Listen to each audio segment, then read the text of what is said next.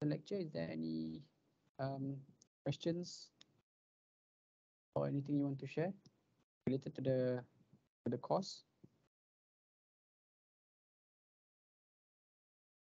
Yeah, everyone. Okay. Nice.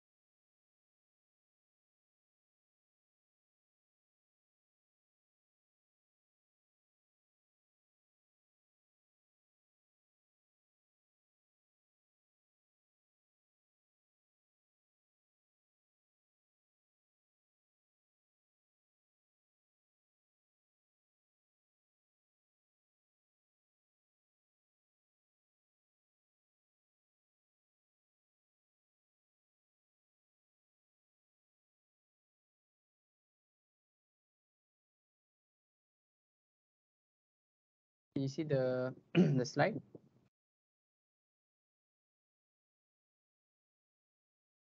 Uh, yes, yes, doctor. Okay. Um,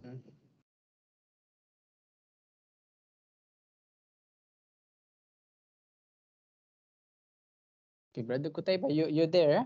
But brother Kutaiba, Yes, yes, doctor. I know why why you haven't submitted your assignment yet. Yeah, I submitted. Did you? Yeah. Okay. Oh, it's not shown in in the system, but when you open it, it uh you can see it. See, ah. Yes.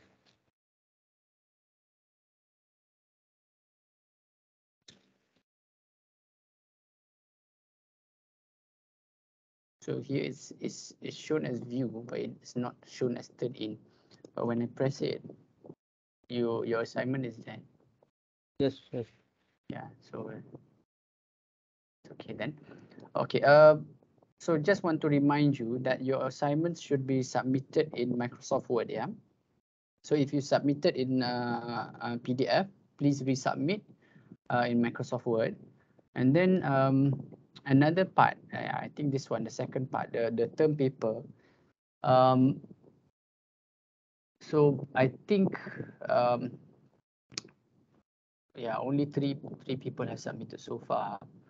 But what I I I think what I I I want to do, but I have to get the the consent of um, everyone, is that I want to extend this um, term paper. So you can submit until uh, next week. Maybe until um, Monday, Tuesday. Yeah, and Tuesday next week. So I'll just extend this uh, the due date, okay? Because I think you also um, because to be fair, we are just learning about monetary policy today, and I think you can integrate mo- monetary policy as well in in your in your analysis for the for this for this term paper. Okay, so you will have until so now is the first. So until seventh. Okay, so I'll just I'll, I'll just change the the assignments. Okay, so the due date for this one is until the seventh. Okay, it's until the seventh June. Okay, so then you have plenty of time to uh, improve. Okay, if you have already submitted, you can also have sub. You have to. You can go go go through the assignment again. Okay, but if you don't want, it's okay. It's fine. Okay, if you're already satisfied with your your your paper, then it's okay. But so now you don't have to worry about about resubmitting. Okay, so this one, uh, basically by by seventh of June, uh, midnight. Okay, so you have you have a few uh, uh, extra more days to to submit for the term paper especially. Okay, and you can integrate what we are learning today, which is the monetary policy. Okay, so last last week we learned about fiscal policy. So this week we will learn about monetary policy. Okay, so let me just update this. Okay, unless there is anyone that disagrees with this decision, you can you can voice out. Okay, so if you're okay, then I, I've already confirmed it, yeah.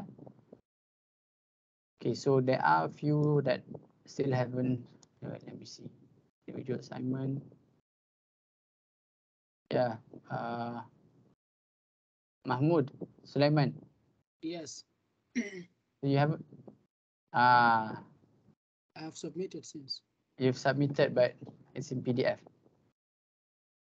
So please resubmit in uh in Word, yeah? Okay, sorry, doctor. Okay, please resubmit in Word. The main reason, okay, the main reason why, because it's basically I will review the paper directly through Microsoft Teams. Okay, so if through if you submit PDF, I cannot comment. So I, I can just highlight like this, right? Okay. so if- Yeah, so I, if I, let me show you, if I, if, if you submit Microsoft Word, okay, so the word can come out. And then I can put review here. Okay, and then I can, I can highlight, I can, uh, it's like, so like, it's, it's normal, uh, like the normal Microsoft Word. And if I, if, if I return to you, you can see what, what are the, the things that I commented on. So maybe hopefully from the, from the feedback, you can also improve for the future as well. Okay, and then you can see uh, what your marks are and how you how how, how I evaluate uh, your your assignment. And if you want to discuss later on, then you can have that opportunity as well. Okay, so this is this is why I, I require you to submit in Microsoft Word. Okay. Yeah, so for the other assignment also, please submit in uh, Microsoft Word. Okay, so uh, is there any questions before I, I move to the to the lecture today? Okay. Oh, and then there's another thing. Actually, part of the part of the part of the evaluation, okay, is that you also have quizzes actually. So I I don't think I've given any Quizizz yet. Okay, so what I'll do, okay, is that I'll give you the quiz. Let's just see the course outline again. Okay, so I'll give you the quiz, which is a quizzes quiz. Okay, so it's a website called Quizizz, and you uh, can basically answer at your own time, but there will be a a, a time uh, time frame. Yeah, so there's a quiz here, ten percent. So this this quiz, okay, is is a once you start the quiz, okay, I think there will be around twenty to thirty questions per quiz. So once you start the quiz, the time limit for for you to answer each question, I think is around one to two minutes. Okay, so you have to answer uh, immediately, and then they will immediately also give you the the the, the your marks. Okay, so if you if you're familiar with Quizizz, so that's that's uh, exactly the the website that I'll give it to you. Okay, and basically, I think there will be two quizzes. Okay, so I'll, I'll inshallah by tomorrow I'll give you uh, the macroeconomic quiz. Okay, and then after that a microeconomic quiz. So both of these quizzes you can answer during uh, at your own time. But once you start, you have to complete immediately. So it's like a normal quiz.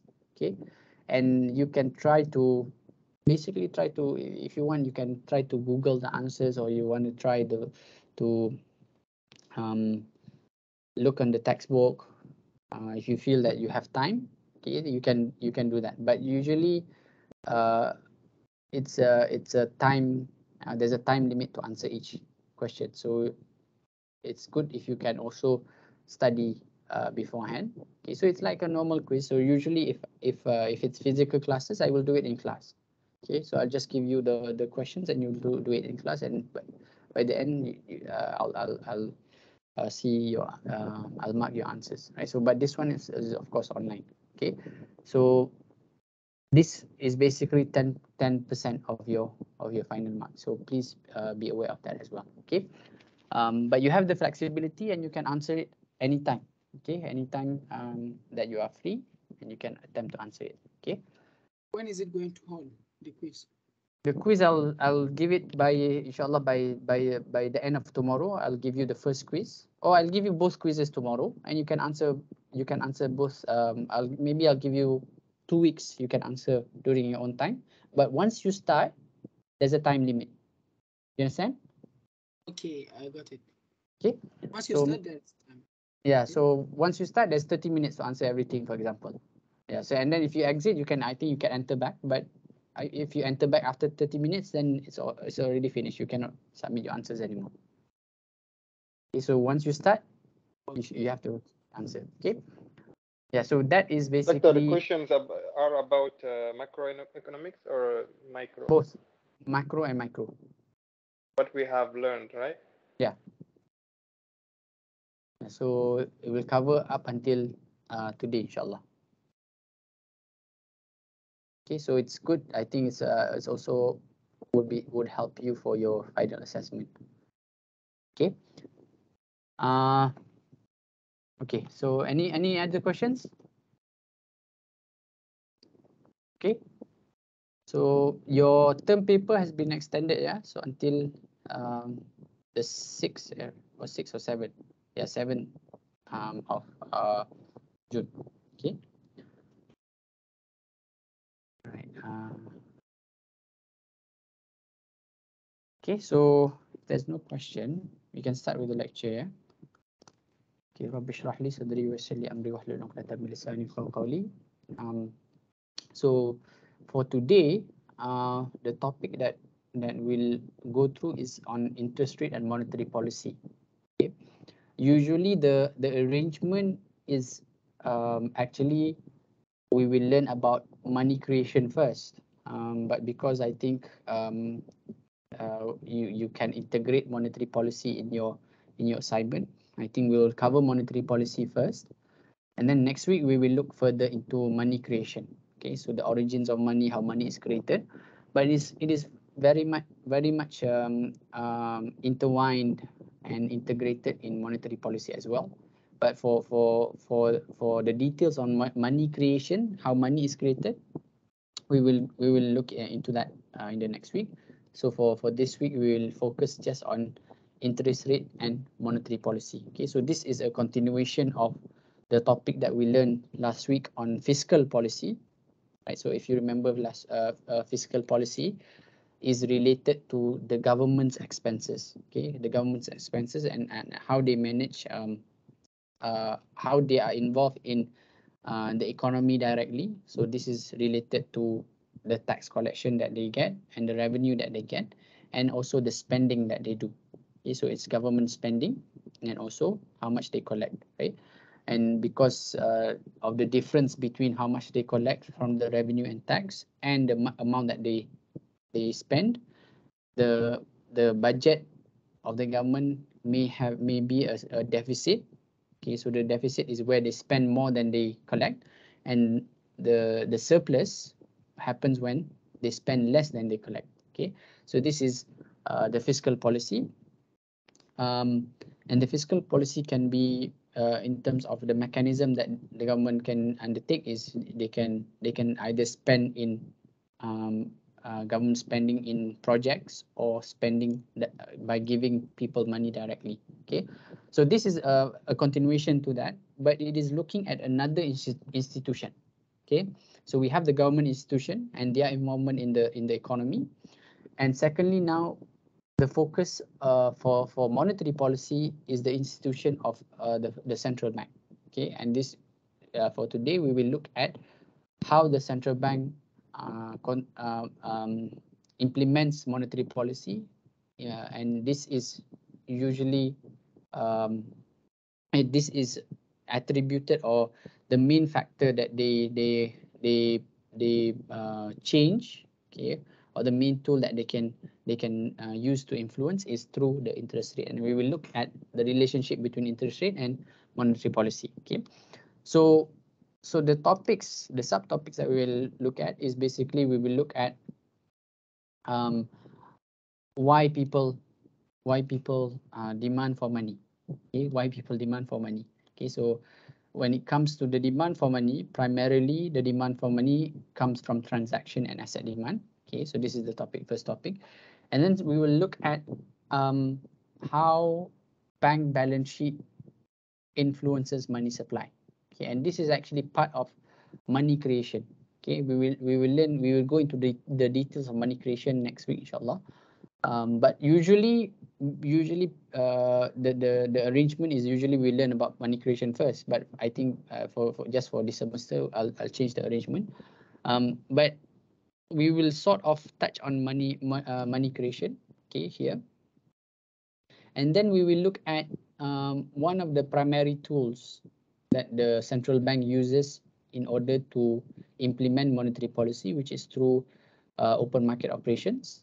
Okay, and then number four, we will see the different types of monetary policy, which is expansionary and restrictive monetary policy. Okay, so there is a time where the central bank will use expansionary monetary policy, and there is a time that they also they they may they will use restrictive monetary policy instead. Okay, um, and then there's also other issues that uh, we will discuss, inshallah. I think related to um, the the the financial crisis. Okay. Um, yeah. So one of the main um, components that is related to monetary policy is basically interest rate. Okay, and this is uh, I think very much integrated in our financial system. Okay, and this is uh, the system that even the Islamic banks are currently operating in. Okay, um, that's why we see we we we we we always argue that we want to move away from the interest rate, and this is hopefully can be done through uh, creation uh, and the the strengthening of the Islamic finance industry. Okay, but as of now, it is still an, at it uh, relatively small, uh, and it is still operating within the interest rate system. Okay, so the the the the way that they can operate right now is is by making the transactions Sharia compliant. Okay, so this is part of the challenge of the Islamic finance, and hopefully we, we will see further development and it can move away completely from this uh, all-encompassing interest rate system. Okay, so uh, what is interest rate? Okay, interest rate is is when we look at it fundamentally, it is basically the price, the price that we pay for the use of money, and this is basically the the the, the definition of riba. Okay, this is the definition of riba. Okay, um, whereby uh, when we use that money, okay, when we use over a certain period, we have to pay more. Okay, and if we we use longer, and we pay back uh, with a longer time, and then of course we have to pay more. Okay, um, and basically uh, in the economy, in the globe, in the macro economy, in any country, for example, we, if we look at Malaysia, there is a lot of different interest rates. Okay, we will see the interest rate uh, in Maybank, CIMB, HSBC, right? Even um, uh, um, uh, Bank, right? So there are different interest rate for, for from different banks. Okay, and even in in Maybank for its uh, in itself, there are different interest rate for different instruments. Okay, so it may be confusing if we just you know we just um, we we have to mention all of it, right? So when we when it comes to uh, the interest rate that we refer to, okay, in in this topic, in our discussion of this topic, it is basically we will just imply that there is only one interest rate. Okay, we just imply it. Okay, but and everyone's interest rate is based uh, or the bank's interest rate or the financial financial institutions interest rate is based on this one interest rate right so this is the primary interest rate or you can maybe argue it is the aggregate interest rate okay so um, if we look at uh, the the the interest rate okay you can argue that the interest rate is determined okay determined by money supply and money demand okay? But okay there is also you can uh, you can you can if you look at its relationship uh, you can argue that it is a chicken and egg situation Okay, here the the the the the the um, point is saying that interest rate is determined by money supply and demand, but it can also go the other way around, where money supply and demand, you know, uh, where interest rate will influence money supply and demand. Okay, um, and this is related uh, uh, to the monetary policy, right? So so it can also be whereby um, money supply and money demand is determined by interest rate okay high okay. So it is both um it is you know um multi-directional okay it goes both ways okay. And when it comes to money supply and money demand okay but first uh, we, we we will look at firstly demand okay. So when we look at demand um you, you, you we we've we've covered the the microeconomic demand and we also covered the macroeconomic demand right which is aggregate demand right? So now we will learn about money demand. Okay so this is specific to money okay? So we we've we've seen the microeconomic demands okay? What are the factors of the demand okay? And also aggregate demand. There are factors that um that that influence the aggregate demand right so similarly for money there are uh, two main factors. Okay basically that influences the demand for money. Okay so this goes back to the question of why do people hold money? Okay and basically the answer is number one there is a transactions demand and number two it, there is an asset demand for money. Okay so the the the the the transactions so basically we, we can we can argue that people hold money for different reasons okay? And one of that reason is that because money is the most convenient to have in order for us to undertake transactions okay? So if we uh, for example we have another type of financial asset okay which is also valuable okay? For example we have bonds and the value of the bond is 1 million okay so it is also valuable but in terms of making transactions with that with that financial financial instrument it is not as easy as if we are holding money.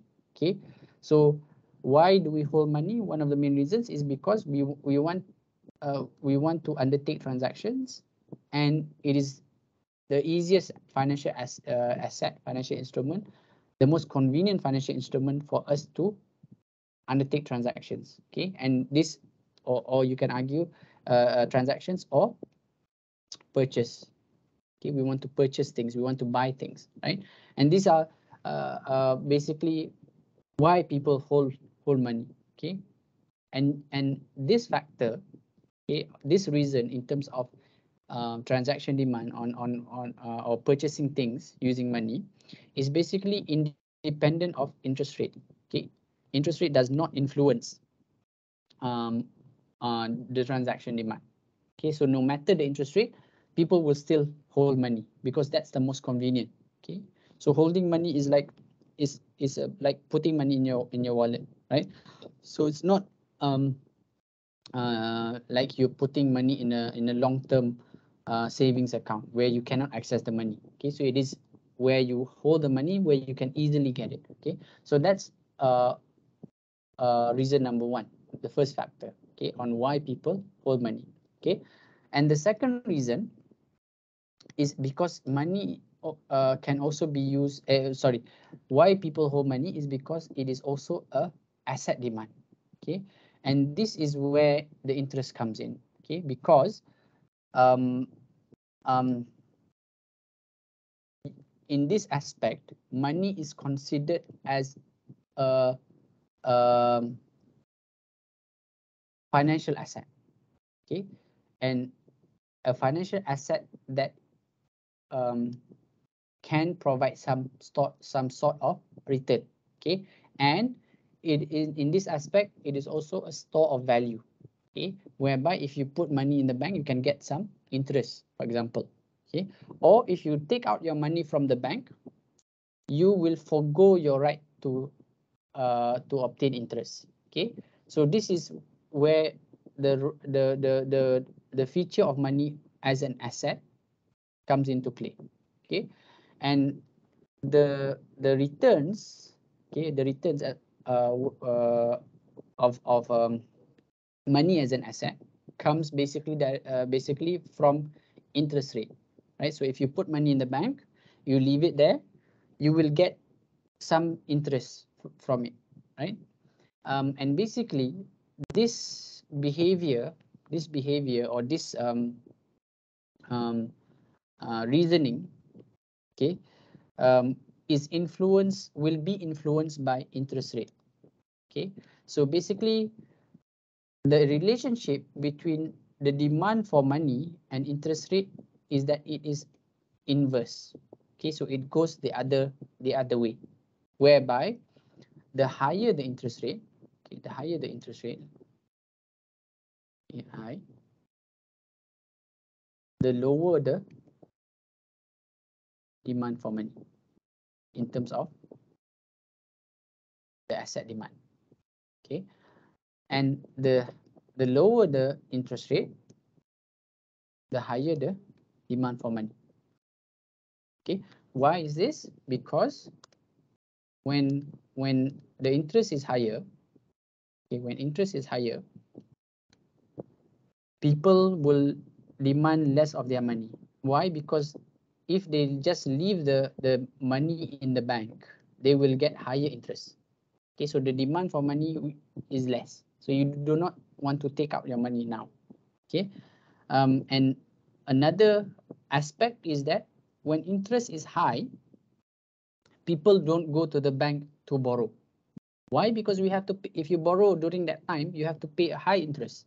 So the demand for money is also low in that aspect. Okay, so similarly in uh, uh on the other hand, okay, where when interest is low, okay, people would rather take out their money and maybe invest in somewhere else. Okay, interest is low, maybe let's say when interest is 2%, okay, and you have 200 million, uh, 100 million in the bank. So if you leave, leave your money in the bank, you can only get interest of 2 million.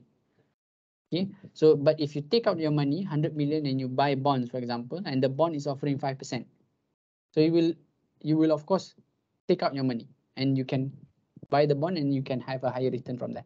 Okay, uh, or on the other uh, hand is also when the interests are low, people would go to the bank and borrow.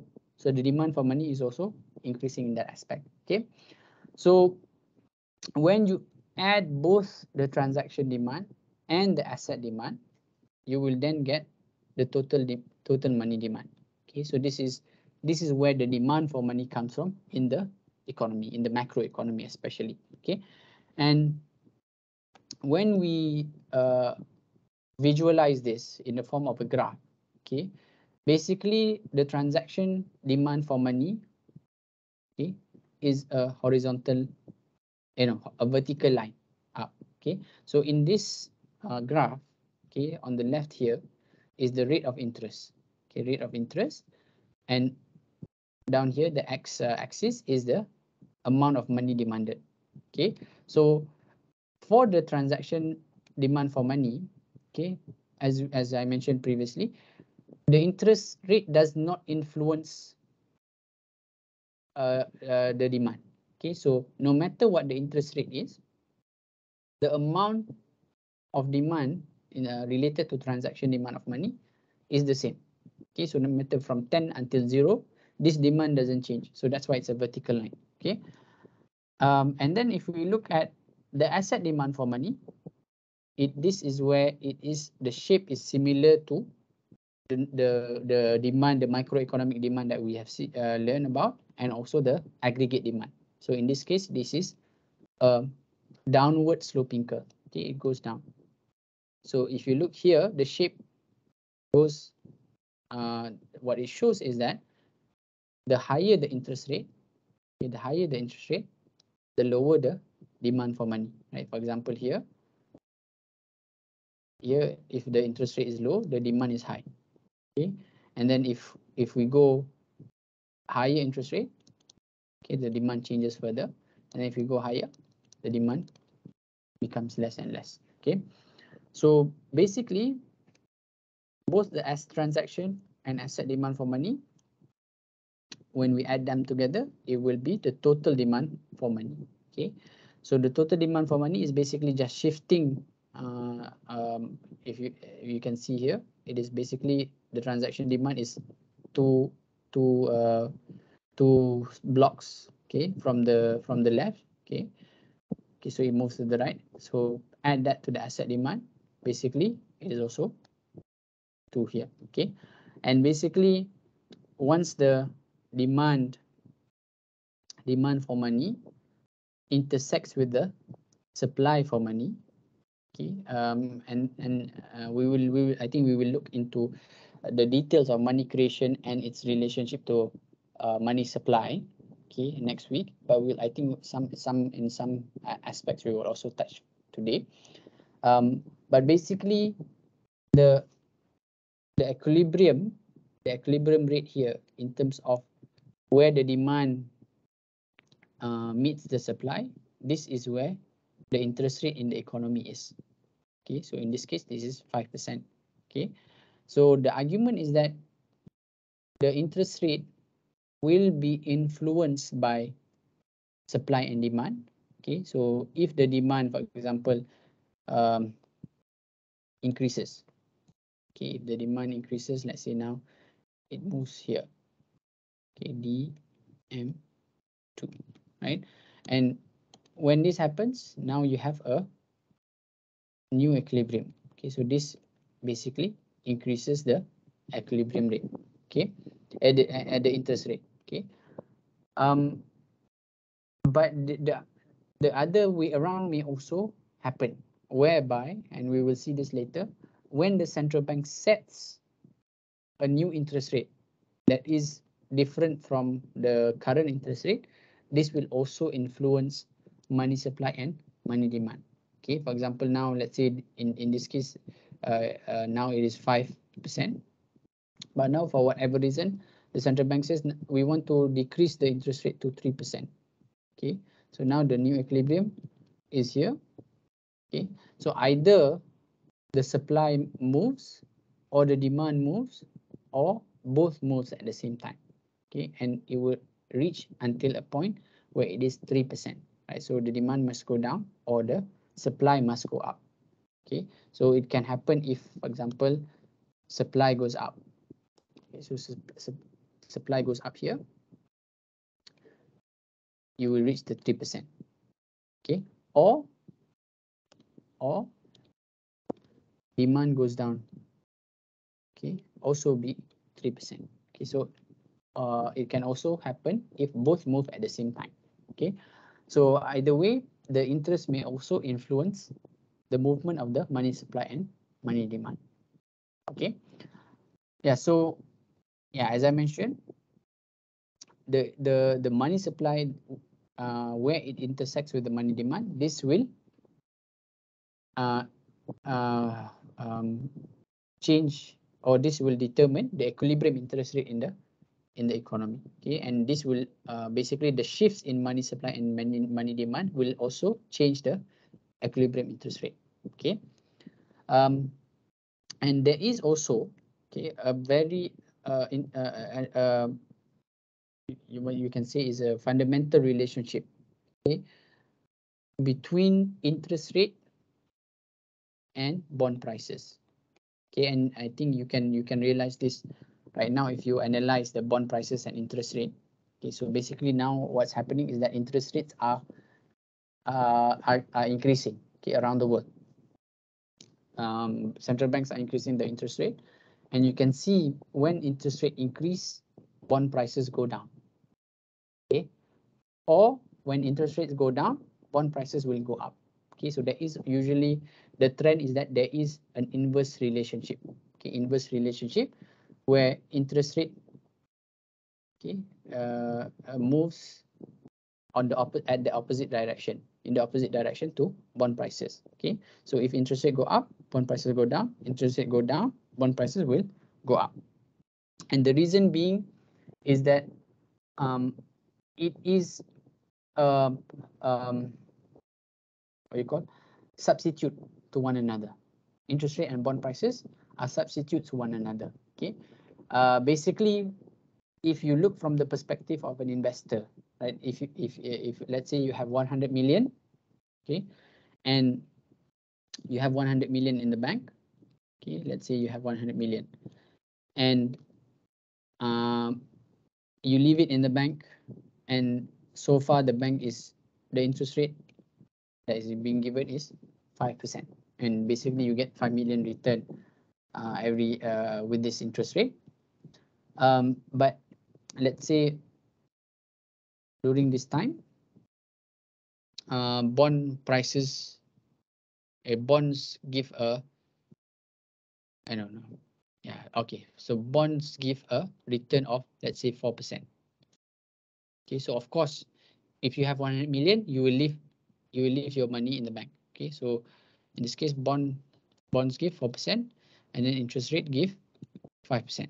Okay, so uh, it's better to put your money in the bank so you can get a, a higher interest rate as compared to if you buy a bond. Okay, so now, okay, if for example, for whatever reason, uh, the central bank decides, okay, now the interest rate is going down. We want to change. Okay, so now we change the interest rate to 3%. Okay, so here the interest rate go down. Okay, so what happens now is that you you can see, okay, bonds are paying a fix of 4%. Interest rate is going down 3%. So I would rather uh, take my money out of the bank, which uh, uh, which I can only get 3%, and buy bonds. Okay, and if I buy bonds, I will get 4%. Okay, so this is better. Okay, but the issue is that usually when this happens, the bond price will go up because the demand for bonds are increasing as well. Okay, because you want a higher return, but now everyone is, is taking their money out of the bank and they want to buy the bonds. Okay, so that will increase the bond price. Okay, um, and similarly, similarly, if for example, uh, interest rate suddenly go up and uh, uh, now, for example, everyone has bonds. And then now the central bank says, okay, instead of 3%, we want to increase to 7%. Okay, so so the bond holders now they want to sell. Okay, I want I have a, a bond that is valued at 100 million. Okay, uh, so I want to sell in the market because I want to put money in the bank. I can get 7%. Okay, so when this happens, everyone is trying to sell this will lower the the bond price okay this is lower the bond price as well. And this is basically the relationship is also uh, um, uh, um, goes the other way around as well. Okay the lower bond price will also increase the interest rate. So it is a uh, a loop as well. Okay so it, it feeds uh, one another. Okay so this is the relationship between uh, uh, demand, supply, okay, money, money demand, money supply, and interest rate, okay, where whereby the, the equilibrium of the interest rate, um, uh, the equilibrium of uh, money supply and money demand will determine the interest rate, and then it will also influence the bond prices in the in the market. Okay. Um, yeah, are you following me so far in terms of this relationship? Any any questions? Can you hear me? Yes, doctor. Yes, yes, doctor.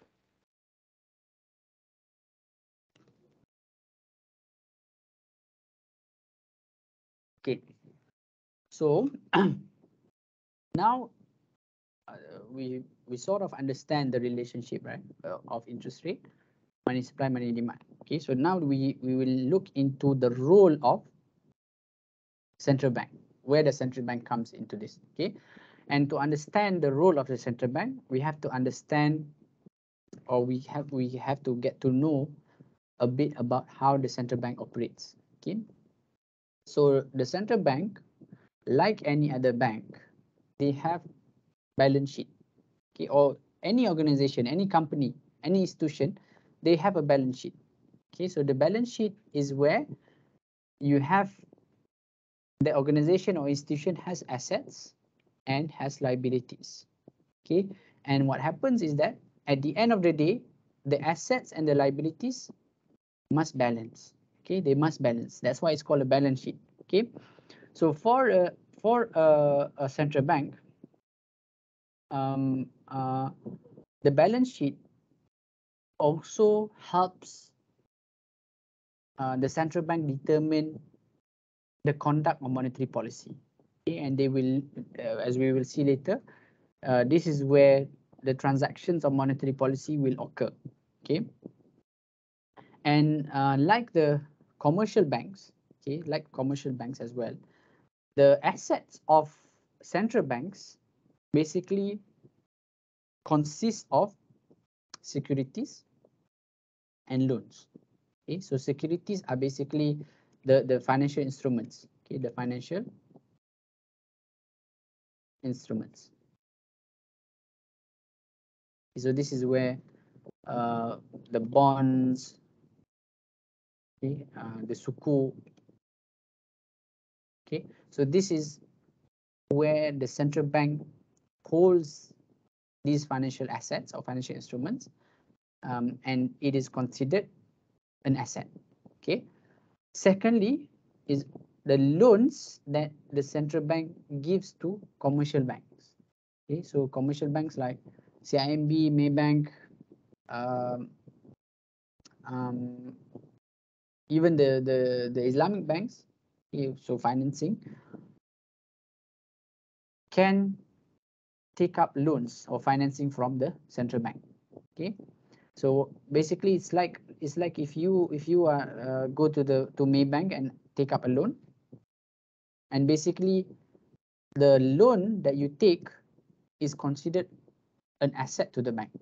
Okay, Maybank will consider that the loan that you take is an asset. So if you take a loan of 1 million, I borrow 1 million from Maybank, that 1 million is considered an asset, right? So in this case, for the central bank, the central bank will give a loan to Maybank, for example. Maybank will borrow from the central bank 100 million, and that 100 million is considered an asset to the central bank. Okay, so that's one side of the balance sheet. On the other side is the liabilities. Okay, and I think you will learn this in more details in accounting uh, subject. Okay, so the, on the other side, okay, is the liabilities. This is where uh, the reserves of commercial banks are held. So reserves are the accounts of commercial banks. Right? So all the commercial banks in the country, right? for example, in Malaysia, Maybank, HSBC, CIMB, they have an account with the Central Bank of Malaysia, Bank Negara Malaysia. Um, basically, Maybank has an account with them. All, all the commercial banks have an account with them, right? So this account is similar to like our account, right? I think everyone, uh, UIE students, everyone has Muamalat account, right? So each and every one of us has a Muamalat account. And when we put money in that account, this is actually considered a liability to the bank. Why? Because the bank has to take care of our money. And whenever we want to take out the money, the bank has to give it. And, and uh, in Malaysia, we have a guarantee up to 200,000 per account. Okay, so the bank has to uh, up to 200,000, they have to give immediately, okay, uh, in terms of um, um, the deposit that we put. Okay, so this is a liability to the bank, right? But in terms of the central bank, the liability are the reserves of commercial banks. Okay, so this is where the account of commercial banks are being put. Okay. Secondly, is the the treasury deposits. Okay, so this is this is basically government's money. Okay, so the government, you know, they take, they collect the tax, they collect the revenue from the, you know, the businesses that they have from the GLC, for example, or when they when they have a budget surplus or from whatever uh, uh, source that they have, they will need a bank account. Okay, and their bank account is being held by the central bank. Right, so this is the government's money, the treasury deposit. Okay, and then thirdly, another liability is in terms of the Federal Reserve notes that are outstanding. Okay, so this is basically the uh, the financial instruments that the central bank has issued. Okay, so this is the the the the um yeah so yeah so this is the the the financial instrument that the central bank has issued and basically when you when the central bank issues a, a bond for example okay bond by bank negara malaysia basically they have to repay the bondholder a certain percentage. And then by the end of the tenure of the uh, bond they also have to pay the full amount right? So this is sort of a liability to the central bank okay? So basically when you add uh, when you look at the figures of assets and liabilities of the central bank you have to balance between the two. So the both the left and the right side must be balanced right so this is one example Doctor, Yeah. what is the difference between what we talked about, uh, the securities and the Federal Reserve notes outstanding? securities oh yeah it's the same thing federal reserve notes okay this is this is also another term okay but this is this is actually a american american american term because the the the the the central bank of america is uh is called the federal reserve right so you can you can you can exchange this with central bank notes okay so this is also a terminology for financial instruments. Okay, so in this case, the financial instrument is the financial instrument that is issued by the central bank. So this is also like bonds or uh, repo, reverse repo, repo. So these are there's different financial instruments that the central bank can uh, issue. Like for Malaysia, we have the uh, sukuk as well, and this is uh, basically the amount that is outstanding that the that the central bank has issued. Okay, uh, so there's different terminologies, and I think it's good for you to be aware of this. Okay, uh, financial instruments, notes, uh, bonds, sukuk. So these are all interchangeable in terms of the wording.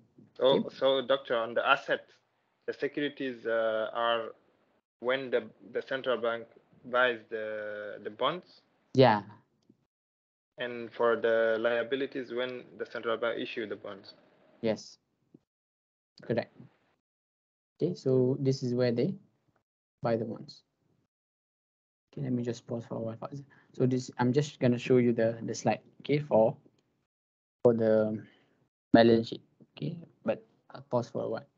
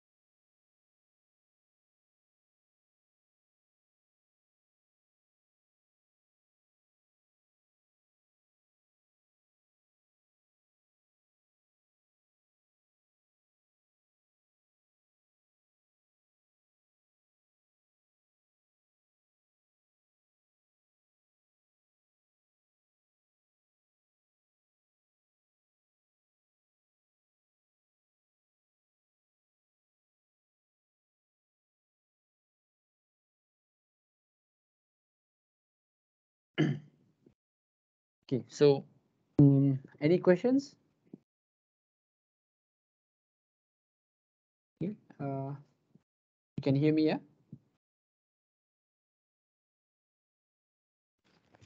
Yes, doctor. Okay, so this is an example of the uh, American Federal Reserve or the central bank, American Federal Reserve um, uh, balance balance sheet. Okay, as of 2016. Okay, so basically this is what uh four trillion is in terms of securities. Four four point two. Okay, and then uh loans, I think very small amount. The what's this 37 million. Okay, 37 million to uh the loans that they give to commercial banks. Okay, and uh, all other assets around two 240 billion. Okay, so it's around, overall they have assets of 4.4 trillion. Okay, and the interesting or basically uh when we look at the assets, okay, this value must also be similar to the liabilities. Okay, liabilities and net worth. So this is the balance sheet. Okay, so whatever asset that you have, it must be balanced with the liabilities. Right. So if you do accounting, you will know basically same same for any uh, businesses as well. Okay, so the balance sheet must uh, uh, balance between the assets and liabilities. If it doesn't balance, there must be something missing. Okay, or there must be something wrong with your calculations. Okay, um, and we I think we will see later. Basically, the the different monetary policy approaches will change the balance sheet of the central bank. Okay, so either the, the balance sheet becomes bigger or the balance sheet becomes smaller. Okay, and this is also similar if you remember to the fiscal policy. Okay, even the government has the balance sheet as well. Okay, so they on sorry not not balance sheet in terms of the the size of the government. Okay, when it comes to uh, how much spending and also how much revenue that they collect, this is will also influence um, the size of the government. Okay, so the sorry the government doesn't have a balance sheet, but it's more over the size, right? So similarly, it, when you look at the central bank, they, the, the size of the central bank will change depending on the amount of their balance sheet, the amount of money in their balance sheet, okay, in terms of the value of the assets and liabilities, okay. So, uh, basically in, in different countries, we have different central banks, okay, and, and this is just something that it's good to know, okay. So in Australia, the central bank is called the Reserve Bank of Australia. In Canada, the central bank is called Bank of Canada. In Europe, the countries have basically foregone their monetary policy power. Okay, so uh, the countries in Europe, okay, that has joined, that has fully joined uh, the European Union, the EU, okay, they don't have the central banks for each country, but they have a European central bank. So this European central bank acts as the central bank for all the European Union countries. Okay, so all the countries that join the European Union, uh, their monetary policy will be determined by the European Central Bank. And I think this was, uh, uh, if you want to look at an interesting case study on the complicatedness of this, uh, you can see the, I think after the global financial crisis, what happened also is the European financial crisis. So this happened in, in Europe, whereby there was some difficulties in terms of handling the monetary situation there. Because actually in different countries there were different um, there were different circumstances and environment right? So there were different circumstances and uh, environment. But basically in in the in the during the european financial crisis. Okay, european financial crisis. Uh, the the the big countries okay the big countries were uh, having trouble. The pigs were having trouble. Okay portugal ireland greece and spain. I think maybe italy as well were having trouble financially and the issue was that because there is there's only one central bank that controls all these different countries uh, it's hard for you to to find a, a, a, appropriate monetary policy for all of them right so this uh, basically the circumstances in these PIGS countries uh, uh, required a different approach to to uh, to handle the monetary situation in each country. Okay, uh, so this is also perhaps a disadvantage when you join a, uh, a monetary system like uh, the European Union. Okay, but of course there are advantages as well in terms of the uh, size of the economy, in terms of doing business, but you have to forego your uh, authority as well. Okay, so this is the European Central Bank. Um, uh, and then we have the Bank of Japan, Bank, um, the Max Bank, okay, Banco de, de Mexico, and then the Central Bank of Russia, Sweden, uh, United Kingdom, Bank of England, and United States, we have the Federal Reserve. Okay, so these are the names, the different names for different countries. And in Malaysia, of course, we have the Bank Negara Malaysia. Okay, so this is the authorities that will determine the monetary policy. Okay, and basically, in order for for the central bank to determine or to to change or to implement the monetary policy, there are four main ways to do that. Okay, and we will go through this. Okay, so uh, number one is the open market operation. Okay, open market operation. Number two is the reserve ratio. Number three is discount rate, and finally is the interest on on reserves. Right. So uh, usually, primarily right now, uh, the primary tool that is being used is the open market operation. Okay. Um, so the open market operation is where basically um, the central bank goes to the financial market, goes to the open market, and they will buy and sell government securities or commercial securities. Okay, and this basically this action of buying and selling by the central bank. Okay, they can buy and sell. Okay, uh, security either government securities but also commercial commercial securities as well. Okay, so the the the the bonds by commercial banks, for example, and they can yeah, so they can they can buy from commercial banks, and they can also sell uh, to commercial banks okay, and also the general public, right? So if you have Uh, uh, uh, they can also sell to the general public. So if you have a certain amount of money, you can also buy the bonds from the central bank, right? So either they, so basically buying or selling. Okay, so the central bank goes to the market, and this action eventually will influence money supply. Right, so if you remember the shape of the money demand, okay, this is the money demand. It is interest. This is the quantity of money. Okay, so the the money supply okay, is this one. This is money supply. So the action of uh, central bank can move this, can move the money supply to the left or move the money supply to the right. Okay. Uh, and it may also influence the money demand because people are also influenced by the announcement made by the central bank and this will also influence the money demand. But primarily this action of open market operations will influence the money supply in the economy. Okay? So for example okay for example when the fed okay fed here or the central bank okay sells securities so in this case the the central bank issues securities issues bonds okay? And the buyer of the bond are the commercial banks okay? So the buyer of the bond the commercial bank right? So you have a central bank. They sell securities to the commercial bank okay? So this is commercial bank okay or actually cb cb is also the same same abbreviation. So uh, i think we just we just use the let's say bnm okay bnm they sell securities right? So the security is a bond and the bond is basically saying i owe you or i owe you okay? So this is basically the bond. I owe you something.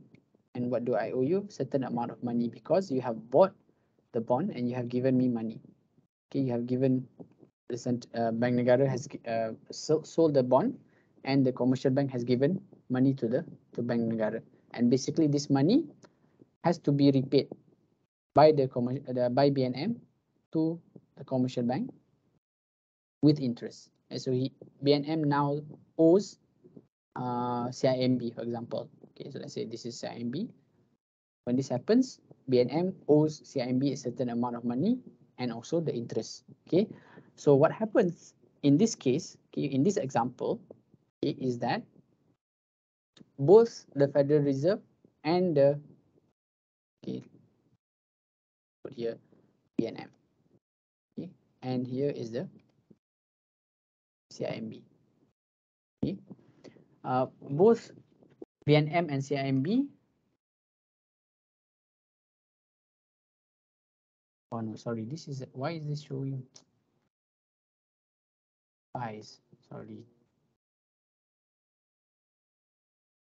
Okay, so so um, here this is where this uh, BNM sells. Okay, but in this case, this is where BNM buys bonds from the commercial bank. Okay, so th- this is the other way around. BNM. This is CIMB. Okay, so CIMB sells bonds. Okay, IOU, and BNM gives money. Okay. Um, so in this case, okay, what happens in the in the reserve in in the in their balance sheet in of both BNM and CIMB. Okay, so now they have uh, securities. Okay. Uh, oh, sorry. Okay. This is this is initially before the uh, operation happens. Okay. So now when when they buy, when BNM buys the bonds, okay, what happens is that the bonds is going to come up here. So now they buy, when they buy, this is this is an asset. Okay.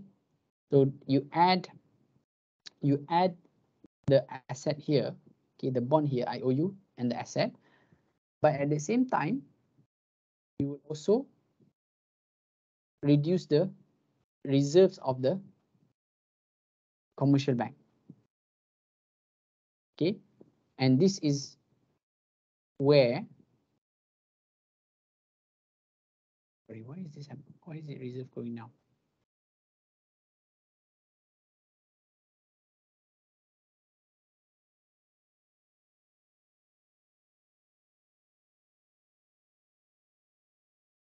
Okay, sorry.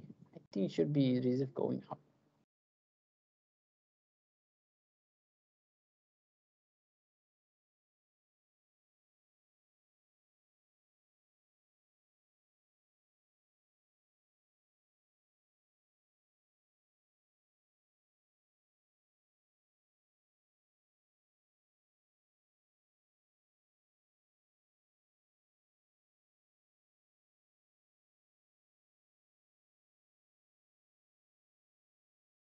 This is actually going the other way around. This is actually going the other way around. The reserve.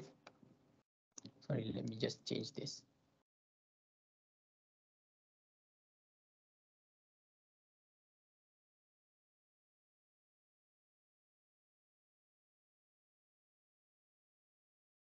Just change this, yeah.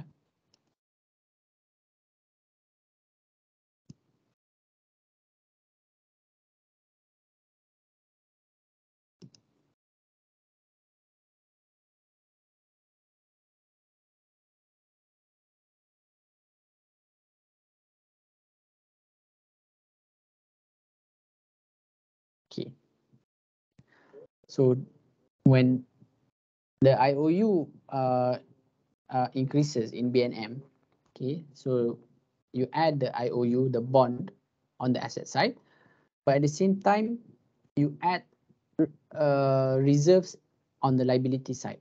So here, this is the the account of CIMB. Okay, on, on the right side here, this is CIMB's account. Okay, and basically it's just the central bank transferring Yes? Okay, sorry.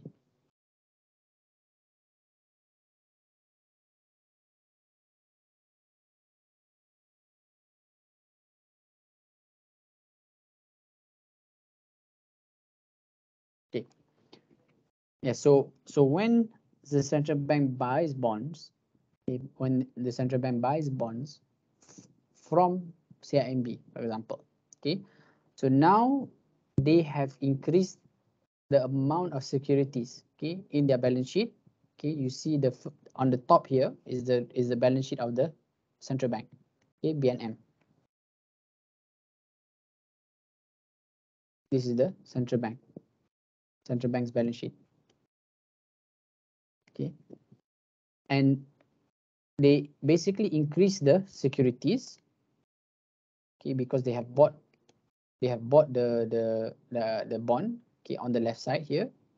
So the amount of securities has increased but when this happens in order to balance basically they put money in CIMB's account right? So basically the reserve that is being held um, by the central bank for the CIMB has increased okay? And basically in terms of the asset and liabilities both have increase in the value. Okay, so this is what happens in the central bank's balance sheet. Okay, and the bottom part here is this is CIMB's balance sheet. Okay, so what happens in CIMB's balance sheet is that they, uh, in terms of the assets that they have, basically they they have sold the IOU. They have sold the bond to the central bank, so they minus the securities but on the asset side as well now they have more money.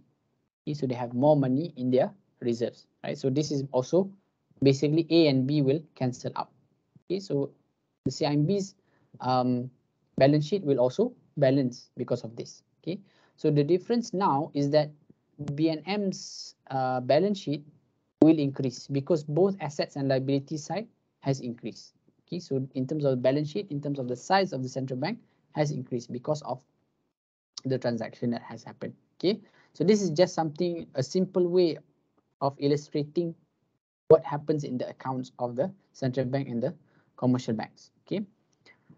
Um yeah and this is when yeah when the central bank buys bonds from the commercial banks.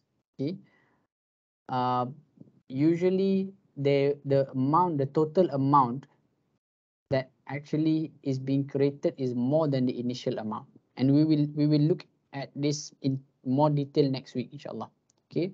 So for example if the the central the fed okay the fed buys uh 100 uh, 1000 um uh, uh, dollars worth of bonds from a commercial bank. So the initial um transaction is only 1000 but essentially later on the total amount of money that is being produced in the economy will be more than that. Okay? On, although the central bank only spends 1000 the total amount of money supply will increase to 5000 okay? and this is related to the fractional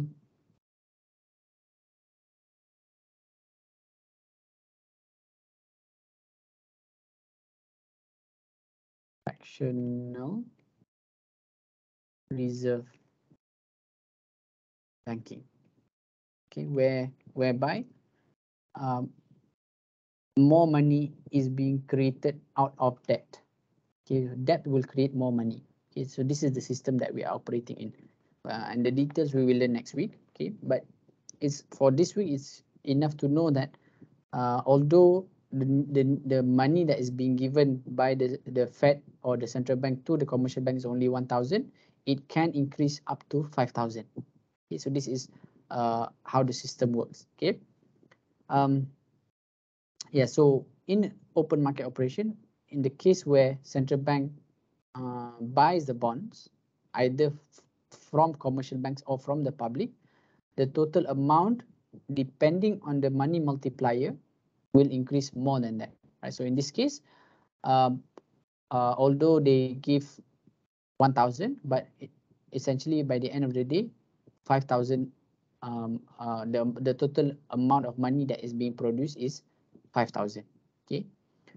Um, yeah, so this is okay. So this is the other way around. So this is the other way around where when, okay, so just now is when the central bank buys bonds.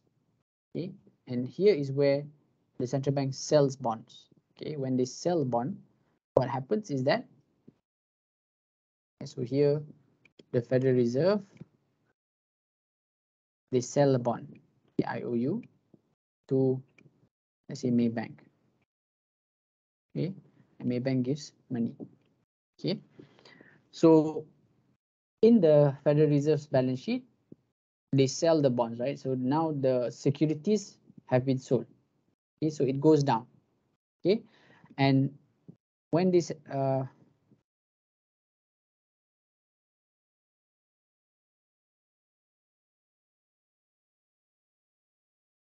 oh, so the arrow is not um okay.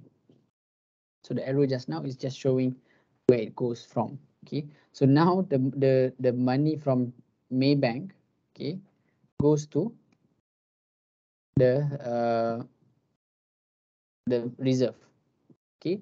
And basically in the in the balance sheet in the balance sheet this results to a negative terms of the reserve right? So basically the account of May uh, Maybank in the Federal Reserve uh, let's say Maybank had had um uh, 2000 the account that that Maybank had in the amount of money that they had in the account that uh, they had with the federal they have with the Federal Reserve is 2000 and when they buy the bond basically Federal Reserve just minus the amount. So the the this amount is basically when they minus it is it is basically reducing the amount of the money in the in their reserve in the account. Okay? So in this case this will also balance. Okay? Uh, and in Maybank's account they have increased security. Okay so now they have the iou and they also reduce their balance in the uh, federal reserves account. Okay so this in both cases will um, balance out. Okay the asset and the liability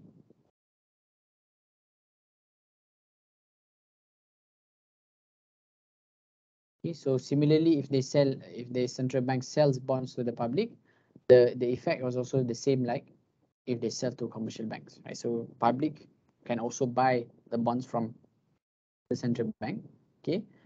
Uh if you have a, i think there's a minimum amount okay? If you have i think 500,000 or 1 million then you can buy a bond from the central bank okay? And this effect is basically will take away or take out money from uh the the economy. Okay so when central bank okay when central bank um let's put here bnm okay and here this is the economy. Okay let's say this is the economy. Okay this is the size of money in the economy. Okay so when uh, so in the economy we have we have the Maybank, we have the CIMB, and we have the general public. Okay. So what happens is that when BNM sells, okay, when BNM sells, so this one I sell bonds, okay, bonds. Okay. What goes the other way is the money. So when this happens, basically the size of the money in the economy becomes smaller. Okay, so previously it was the first circle, now the size becomes smaller, right? Because the money is being taken out from the economy and being put with the central bank. So the money supply re reduces when the central bank sells bonds to the public, right? Because you are taking away money from that is circulating in the economy, and now you are putting the money with the central bank where uh, the transactions are not happening. Okay, people are not using the money to buy uh, and sell goods. Okay, so the size of the money supply reduces. Okay, because of this operation. Okay, and when um, if the other way around happens, if the other way around happens, whereby um, central bank sell, uh, central bank buys money, uh, uh, sorry, central bank buys bonds. Okay. okay. So let's say, let's say now, central bank buys bonds. Yeah. So they buy bonds. So they get bonds, and they give money. They give money to to the issuers of the bonds. In this case, main banks MB, and this will basically increase the size of the money or increase the money supply. So now you have a bigger circle, bigger amount of money in the economy because it's basically taking the money from the central bank and putting it into the circle. So you can imagine a balloon, right? So when the central bank buys bonds from the open market, they are basically injecting more air in the balloon.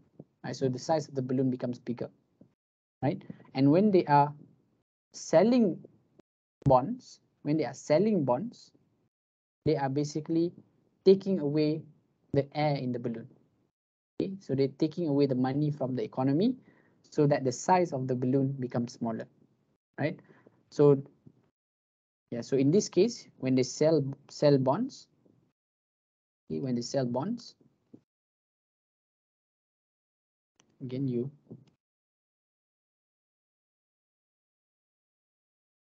They sell bonds. So the money goes the other way. Okay? so the size becomes smaller. Okay. So this is the the open market operation. So they either can buy bonds or sell bonds and this will affect their balance sheet in terms of the asset and liabilities. And this is uh, basically influencing the money supply. Okay the movement of money supply and um, it will eventually influence the interest rate in the economy. Okay and the interest rate in the economy will influence the bond prices and this will also influence the uh, later on we will see um, in terms of the GDP which some of the factors in the GDP are affected by the interest rate for example consumption uh, investment, government spending, sort of, and then export and import will also uh, be affected because of this. Okay. Um, another aspect.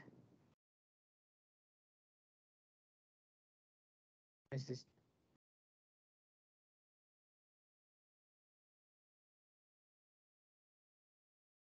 Or another another thing that the government uh, uh, the central bank can do in the open market is by offering repurchase agreements and reverse repurchase agreements. Okay, so this is also sort of a bond. Okay, but it is more termed as a collateralized loan.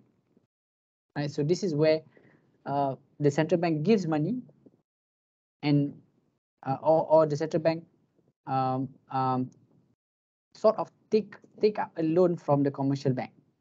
Okay, so the central bank can go to the to Maybank, for example. I want to have a repo with you, and I will pay you a certain percentage. So now Maybank gives money to the central bank, and central bank pays them a certain amount of uh, interest. Okay, so it is a sort of collateralized loan, and this will also affect the um, the the money supply in the economy, right? So it's just a different financial instrument, uh, but of course the underlying uh, mechanisms are different, but it is similar to, uh, in terms of the effect, similar to the bonds. Okay, so repo and reverse reverse repos. Okay, so this is basically the open market operation. Okay, so the second the second uh, tool. Uh, before that, is there any questions regarding the regarding the the the first tool for monetary policy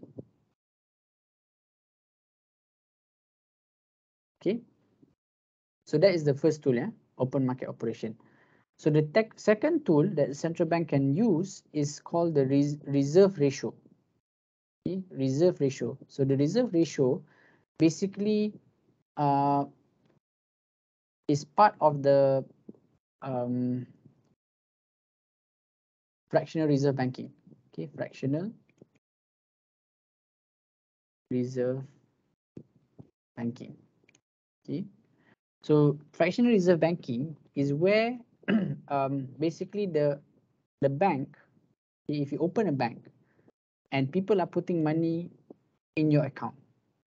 Okay, so the law of of this system is that you can use the money that people have put in in uh, with you and give it out as a loan right so uh, when depositors put money for example if i put money in maybank actually maybank will use my money that i put and give it as a loan right so uh, but the the the the the, the legal um, aspect is that you cannot use all of it.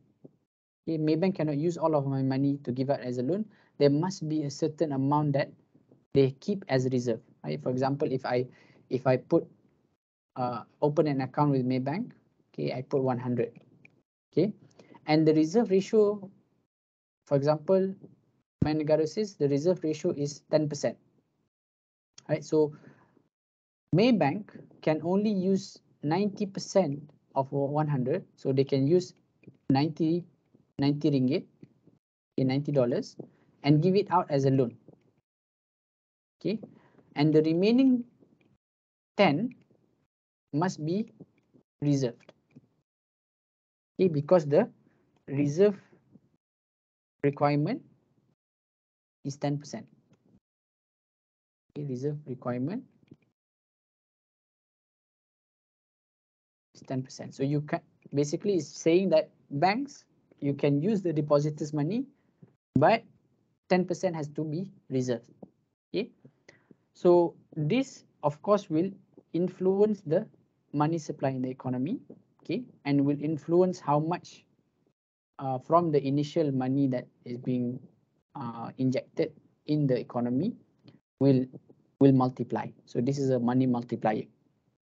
Okay, so the reserve ratio, depending on the amount, will basically change the supply in the economy, right? So for example, in this case, initially the reserve requirement is 10%, right? But now, let's say central bank changes the requirement, instead of 10%, now we reduce it to 5%. Uh, okay, so basically when the reserve requirement is 5%, so instead of 90, 90 ringgit, now Maybank can give 95 ringgit. And they they only reserve 5 ringgit in the bank, my money. Because I put this money in the in, in the account, but they use it and they can give it out as a loan, right? So in this case, this will of course increase the amount of money supply in the economy. And we will go into detail later on. But uh, basically the reserve requirement or the reserve ratio will influence how much money is in the economy. Okay? Um yeah. And when we look at uh, um, uh, that requirement it is also a requirement for the, the commercial banks in their account with the uh, in the uh, sorry the amount of uh, money that is reserved also is being put in the uh, central bank's account right? So they put the money in the central bank's account because you can't touch it. So this has to be a reserve okay? And this uh, from this you can calculate what is the reserve ratio okay, of the country okay? Uh, yeah, so this is an example uh, for the different amounts of deposits. Okay, so in so this is the US example, right? So they may have different reserve requirements for different amounts, right? So uh, uh, accounts, okay, accounts for that are less than 15 million. Okay, the requirement, the current requirement, um, I think this was 2016. You you don't have to reserve anything. So if I put 100 hundred dollars in a bank, the bank can give out fully $100 to another person in the form of a loan. Okay, but if if my in my account, I have 15 to 110 million, so they the only uh, requirement is that they have to reserve 3%. The remaining 97% they can give out as a loan, right? So this is just showing at different levels, there are different reserve requirement, okay? And this is basically would influence the amount of money in the economy, okay? So yeah, so here basically the is the effect of the reserve ratio, okay? So the, the, the higher the reserve ratio, okay, the higher the reserve ratio, the lower the amount of money is being created in the economy, right? So the reserve ratio is basically how much of uh, in terms of the percentage must the uh, uh, commercial banks not touch. You cannot touch it. You cannot give it out as a loan. This is the amount that you have to reserve. Okay. So basically, the higher the amount that they have to reserve, the lower the money creation in the economy. Right. So as you can see here, as as the reserve ratio increases, the potential money creating potential goes down. Okay, up to a point of negative here. Okay, so this is the basically the second um, the second tool that the central bank can use. Okay. Uh, any questions on that?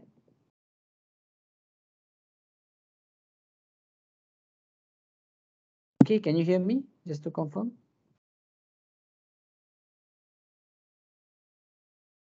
Uh, yes, doctor. Okay. So that's the second tool, okay? And then the third tool that they can use is discount rate. Okay, so the discount rate is basically the minimum interest rate, minimum interest rate set by the central bank or the uh, Federal Reserve when they lend money to other banks. Okay, so basically BNM, Bank Malaysia, they can lend money to Maybank, they can lend money to CIMB, they can lend money to all the commercial banks in Malaysia. Okay, and they can basically set any amount of interest that they charge to these banks. Okay, and uh, uh, the this happens why because basically these banks have to adhere to um, regulatory requirements right? So for example may uh, maybank by the end of the day they have to have a certain amount of uh, cash in hand. Okay a certain amount of cash that they have in their accounts. And if the cash is not enough for example they have to borrow from other banks because of the legal requirements right? I think now they have uh, uh, they are following basel 3 okay basel 3 and they have like certain amount. Um, uh, for example uh, banks in Malaysia they close by 5 5 uh, p.m. right so by 4 4:30 they check okay how much money do we have okay and what is the what is the requirement right so this is just simplifying huh? so let's say uh, the requirement is that we have to have uh, 100 million in a, in our bank in terms of the cash okay but now because we've given out as a loan and we don't have enough um, cash in hand right so we have to borrow from um, other banks, for example, or we can also borrow from the central bank. Okay, so they have to borrow. So either the uh, Maybank can go to CIMB or HSBC, they can go, they can do that. Okay, so they borrow from one another to to fulfill the requirement. Okay. And if, for example, the other banks are saying, okay, we cannot lend it to you. Okay, we don't have enough cash in hand um, uh, ourselves, so uh, we, we can't do that. Okay, so what the, the Maybank can do is that they can go to the central bank or the Federal Reserve, okay, or Bank Negara as the lender of last resort because other banks are not giving them uh, the loan. Okay, we need we need now we only have 50 million. We need uh, 50 million more to to fulfill the requirement. So they can go to central bank and they can borrow Okay, but usually as a last resort, when other banks are not um, uh, giving the loan, or the the the uh, other banks are saying, okay, you can borrow from us, but we will charge you a very high interest. Okay, so Maybank can, can go to BNM and say, we want to borrow from you. Okay, so this is usually as a last resort. Okay, and this is usually just overnight or just a few days. They have to pay back. Okay, Maybank will pay back. Okay, um, and this is basically uh, the amount that the Federal Reserve charge or the central bank charge in terms of the interest is called the discount rate. Okay, how much do we do you have to pay? You can borrow from us 50 million, but we will you have to pay us an interest of 3%, for example, or 2%. Okay, so so this discount rate is basically used as a benchmark for commercial banks. Okay, so they can basically they go to the they can ask the central bank, uh, uh, Bank Negara Malaysia, for example, they can, contact Negara. What is the discount rate now? If we borrow from you, how much are you going to charge us? So the central bank can say, okay, three three percent. So this is three percent is usually used as a benchmark. Okay, why? Because, for example, if if if uh, if let's say BNM say the the discount rate is 3%. Okay, discount rate is 3%. Okay, so if, for example, uh, Maybank, Maybank borrow um, 100 million, okay, 100 million, and they pay 3%, right? They pay pay interest of 3%. So based on this, okay, they can loan out the 100 million as a loan and they can charge 5%. So in this case, they get a profit of 2%. Okay, so this is if they borrow, if they borrow. Okay, uh, but of course, they don't have to do this. Basically, they just use this amount that central bank has mentioned, okay, they say, okay, 3%. Okay, so now every all the other banks know this is the discount rate that the central bank is uh, offering. So we use this as a as a benchmark. So if it's 3%, we must we must of course charge more than 3%. Okay, we charge more than 3%, maybe 3.5 or 4%. We cannot charge less than 3% because this is the amount that the central bank is giving to us. Okay, so this is basically also would influence the interest rate in the economy okay, and also influence the um, the amount of money supply in the economy. Okay, but usually this is only happens as a last resort. Okay, and then finally the last tool is uh, very rarely used. Okay, the last the last time um, um, before I think or after the, the the global financial crisis is interest on reserves. Okay, basically, um, the the the this interest on reserve is basically a way of encouraging or discouraging uh, the commercial banks to take out the money or to keep the money in the reserve in order to get some interest. Okay, so if uh, for example, uh, the, the amount of reserve in the in the central bank, uh, basically, uh, Maybank can increase the amount of Uh, money in the, in the in the accounts and get a certain interest. Okay, or I think like what happened in some certain countries is that the central bank says to the commercial banks, don't keep anything in reserve. I want you to loan out all the money that you have. Okay, so in order to jumpstart the economy if you keep money in reserve, you have to pay a certain interest, right? So negative interest. So this happened uh, in I think uh, some countries. Um, or the central bank want to discourage the commercial banks from using the money. They can say, if you keep the money in the reserve, we will give you a certain amount of interest. Right. So this also would influence uh, the money supply in the economy. Okay. So overall, in terms of uh, the tools of monetary policy. Okay, uh, as of today, and I think post global financial crisis, the open market operation is the one that is mostly used by the central banks. Okay, uh, in the US, the reserve ratio I think is similar in, in Malaysia as well. The last is it's very rarely that they change the reserve ratio, and the discount rate is not normally something that they change uh, because of the monetary policy. Okay, because the discount rate is also as a lender of last resort, and similarly, interest on reserve is not as influential. Okay, so usually what they do is they will use the open market operation. This is where they buy and sell bonds. Okay. Um,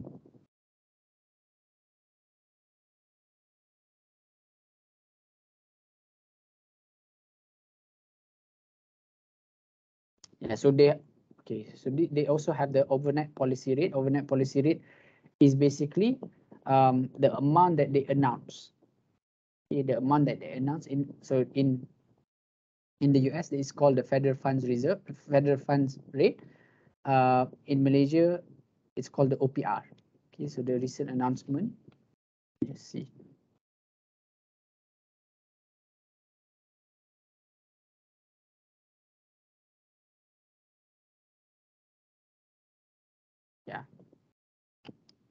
This is, the announcement by the central bank, okay, Bank Malaysia. They can change this OPR. Okay, so recently, after a very long period, they changed the OPR. Okay, and they will usually announce this. So this OPR is also used as a benchmark uh, by commercial banks in how they offer loans. And you you will you use I think some of you if you have loans in Malaysia, when the the central bank announced an increase in the OPR, uh, the amount that you have to pay in terms of the interest also increase based on this because this is used as a benchmark. Okay. Um, and the last time it was changed was during this, the the the start of the pandemic. Okay. Okay. So this was a reduction in the OPR, but now they are increasing the OPR because of uh, inflation. Okay. They want to reduce the money supply by increasing the interest rate in the economy. So the, the interest rate, when we increase the interest rate, basically more people will uh, save money in the bank and less people will take up loans because of the increasing interest rate, right? So this is this is uh, part of the you can argue part uh, uh, of the monetary policy as well. Okay, that that they influence the uh, interest rate, announce it, and this will influence the money supply. Okay so that is the the tools of the monetary policy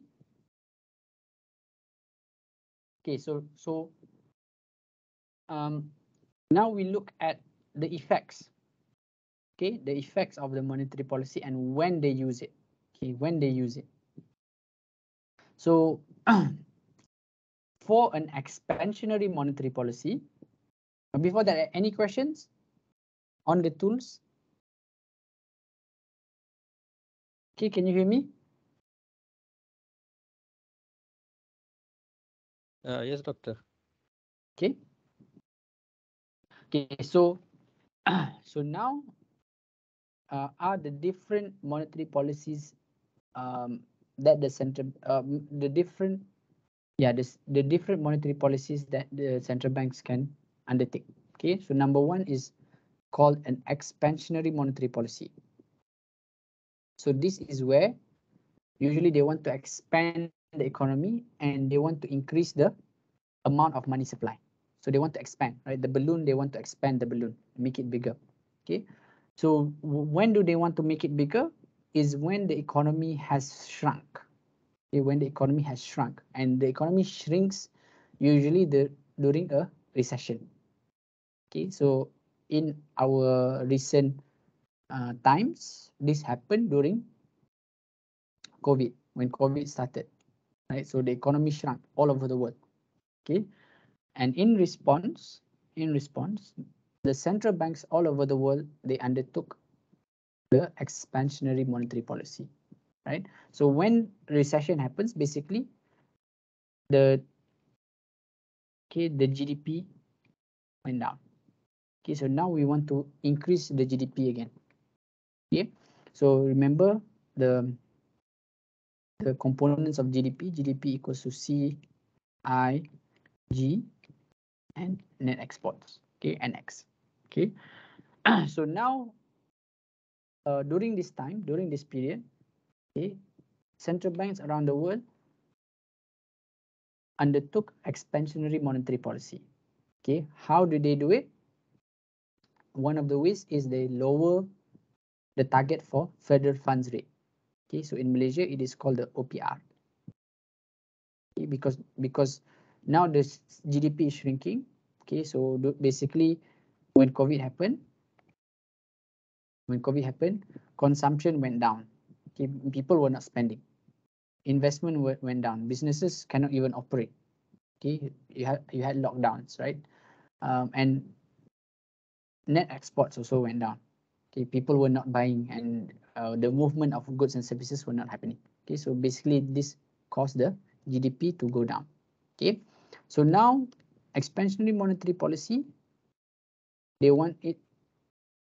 They want it to go the other way around. Okay, so instead of going down, we want it to go up. Okay, so how do we do that? We firstly we lower the federal funds rate. Okay, one of the ways lower the federal funds rate. So as I showed you just now, in Malaysia, okay, so COVID happened at the end of the 2019. That's why COVID-19. So during that time, the OPR was 3%. Okay, after COVID happened and the, the economy shrunk, Okay, so the the central bank was already anticipating the economy to shrink. So now we have to undertake expansionary monetary policy. Okay, so they reduce the OPR by this is called the uh, 0.25%. So in economics term, sometimes they will say it is 25 basis points. Okay, 25 basis points is basically 0.25%. Okay, so they reduce the OPR. So previously it was 3% now it is 2.7 okay? And then they did it again in march by uh, another 25 basis points. And in may uh 5 50 basis points. And in july 25 basis points okay? So from 3% now it is 1.75% okay so when this happens basically because it is used as a benchmark right? It is used as a benchmark. Now the interest rate has gone down. Okay, so when interest so when interest rate go down, okay, OPR when OPR go down, eh, interest rate go down. What happens is that the um, the idea is that when interest rate go down, people will be more likely to take up loans because why? Because you you pay a low interest. So loans will increase. Okay. So when loans increase, people have more money to spend. Right. So the idea is that when loan increase, consumption will also increase. And when loan increase, investment also increase because businesses take up loans to to survive or to to spend in for investment. Okay. So so loans increase. Okay another aspect is when interest decrease, people are less likely to save money in the bank. Why? Because they have less interest. Okay, so savings go down. Okay, and when savings go down, consumption go up. Okay, or disposable income go ah no, not disposable consumption go up. Okay, so C also go up. Okay, and part of that also will affect the exports. Okay, and when people are buying more um, especially if if it's uh, people from overseas are buying more um, um, it would affect your exports. Okay and this will affect the GDP overall as well. Okay so this is basically OPR okay where interest is being set. Okay so this is the target. We want to reduce the interest from um okay so here we can visualize the money supply and money demand. So this is demand, this is interest, it's quantity of money supply, right? And then this is uh, supply. Okay, and this is the equilibrium interest rate. Okay, so so what this does is when they lower the target is that they the central bank basically says now the interest rate is three percent. Okay, we want to lower it to two point seven five. 2.75%. So they announced 2.75 and this will basically increase the money supply. Okay, sorry, supply two. It moves to the right. So this they announce the interest rate first, and this will influence the money supply through the increase of loans, right? Because people are taking up loans, right? The debt that they take increase the money supply in the economy. And secondly, they are taking out money in their savings. So the money supply increases, okay? Another aspect, okay, in terms of expansionary monetary policy is the open market operation here. Open market operation where the central bank buys securities. Okay, again, when, when they buy, okay, ABNM buys from Maybank. Okay, so they buy bonds. Okay, so they get bonds and they give money to Maybank. Okay, now they buy because they're buying. So what does now Maybank has a has more money. We have more money. What what should we do? Right. So they will give it out as loans. So they have more money from here. So what do they do with it? They try to give it out as loans because now um, we what's the use of us keeping this money, right? So if let's say they are paying they are paying the bond prices at uh, uh, interest of three percent. So the loans that they give is maybe three point five percent. Okay, just an example. Okay, so they they give at least so here basically would also increase the money supply. So it is movement of the money supply also, as you can see, shifts to the right as well. Okay, and overall it expands the money supply. So the quantity of money supply moves from Q1 to Q2. Okay, um, and basically the movement of the interest rate overall will go down. Okay, so this will reduce the interest rate. Okay and and as you as you saw as well the OPR goes down further and further during this period. Okay so this is the expansionary monetary policy and this will affect the primarily the the I would argue will affect the consumption and investment. Okay and indirectly maybe net exports but I think the main um, factors or components that it will influence is the C and I. Okay? So this happened most recently when COVID started. Okay, when COVID started, this happened. Okay, so uh, uh, the response to COVID is an expansionary monetary policy, and this is, I think, you have to uh, be aware of this, especially for your assignment. Okay, okay, but as we saw as well, recently or currently in the past month, most of governments or uh, most of the central banks around the world are undertaking restrictive monetary policy. Okay, and this happens when usually when the economy is expanding too much. Okay, this is expanding too much too fast. It's good to expand, but you cannot you cannot expand too fast. Why? Because if it's too fast, the balloon will pop. If the balloon pops, then it will cause chaos. So we want it to expand still, but slow down a bit, not too fast. Okay, so during this period, when the economy is expanding too much, usually it is related to what happens is that there will be inflation. And in Malaysia, I think everyone is experiencing this right now. The prices of goods and services are going up. Okay, so what the central bank does in response is they restrict, they undertake a restrictive monetary policy. Okay, and they can do, do it by increasing the federal funds rate or the OPR. Okay, and I think, sorry.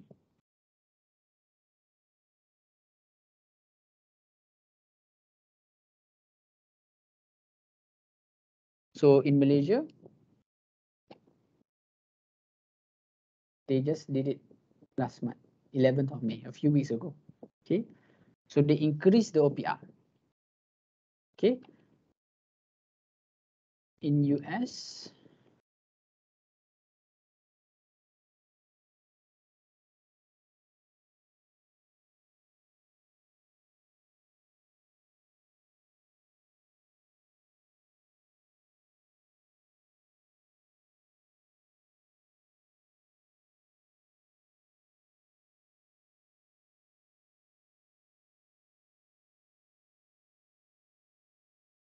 yeah, so now they, yeah, yesterday they still are calling for increase by 50 basis points. Okay, now this- this one, 75 basis points. Yeah, one month ago, okay, one month ago, the Federal Reserve raised rates by half a percent or 50 percent, uh, 50 basis points, the biggest hike in two decades to fight inflation. So this is this is also a response. Uh, you can argue post-COVID, another another response, a monetary policy response post-COVID, where the the economy has opened up, but inflation is happening. Okay, so they are basically increasing the interest rate. Okay, so they increase the by 50, and this is the highest in two decades in 20 years. Okay, similarly in other countries, you can you can Google other countries. Most of the central banks are increasing their federal funds rate or the OPR. Okay, and if you visualize this, basically in the money and supply money okay this is interest this is quantity this is the supply of money this is the demand of money and this is the initial interest rate. Let's say 3 3 percent. Sorry. Make it lower. Let's make it lower so it's easier to see.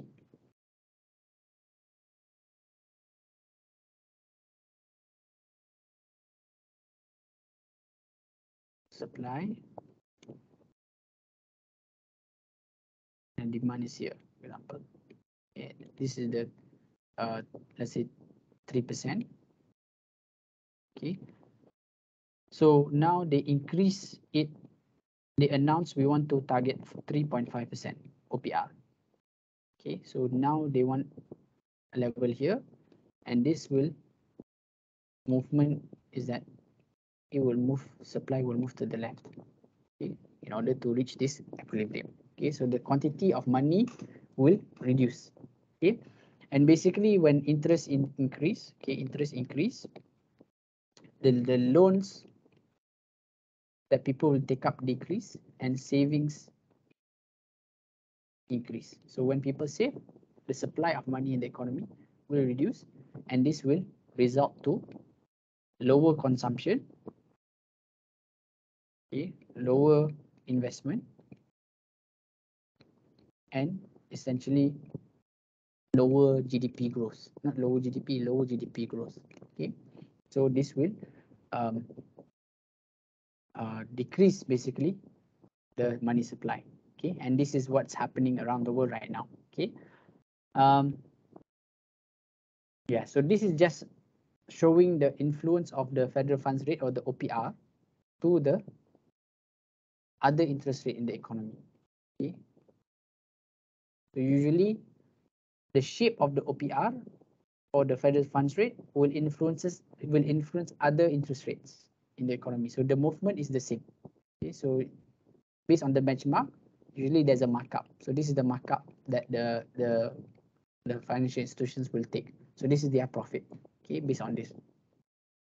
Okay, so uh, in the US, they use um, uh, they have different um, um, targets, right? So different countries have different monetary policy objectives. Okay. So in the US, they they target inflation rate. So I think in Malaysia as well, they have a certain target. Um, they want the inflation, for example, now the inflation is seven percent. We want the inflation to be around 5% only. We cannot allow for more than 7%. So they have a target. So in the US, how they, they achieve this target or how they estimate this, this target is by using the Taylor rule. Okay. So the Taylor rule in the US, uh, the Taylor rule says basically if inflation you want to target is around 2%, the federal funds rate must be twice that.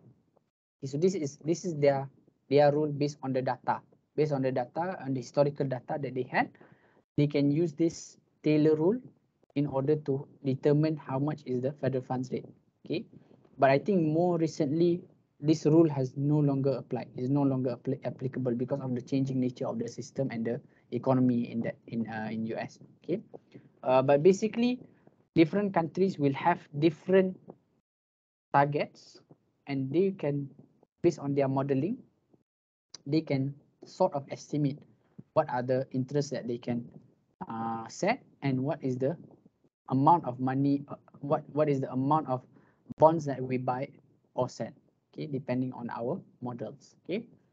Uh, so if you are for example i think uh, an economist right? So the role of economists usually is to do this modeling. And based on the data that we have we can estimate you know and they uh, they will usually present this to a committee in the central bank present this data and then based on our data we we we, we should increase the opr to a certain percentage right? So this is uh, um, the the work of the economists usually in in in the banks okay? Yeah so so yeah so basically monetary policy so this is the visualization. So the monetary policy will influence the real gdp and the price levels okay? So they it is a link there is a, a cause effect chain where the market for money or the supply and demand for money will influence investment and interest rate. Okay? And this will also affect the aggregate demand which will affect the gdp and the prices. Okay? So depending on the expansionary or restrictive monetary policy. So basically the aim overall aim or the over, overall outcome of an expansionary monetary policy usually will result to a reduction in interest rate. Okay. And then um, cent, uh, central bank or federal reserve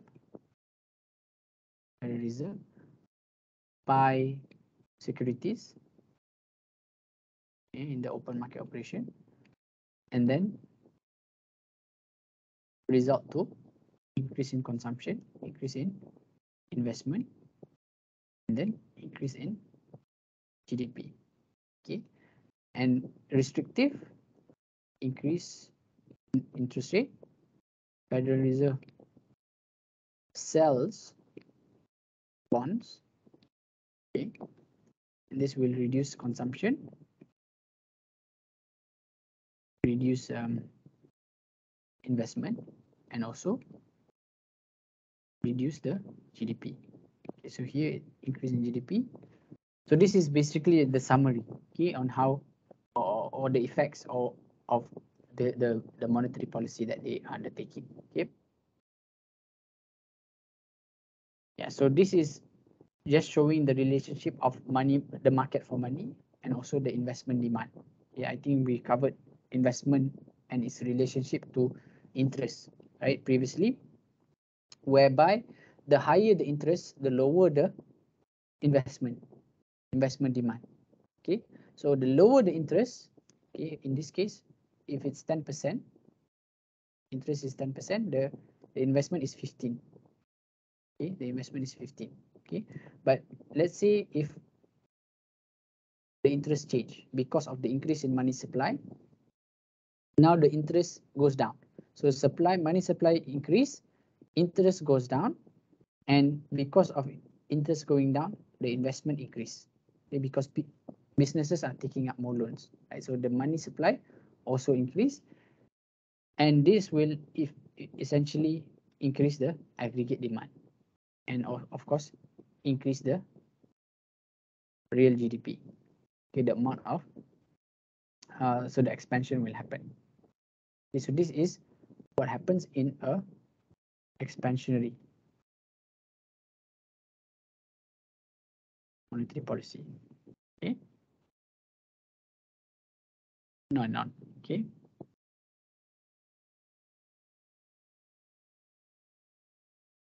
So this is expansionary. Okay, basically, what happened during uh, the start of COVID?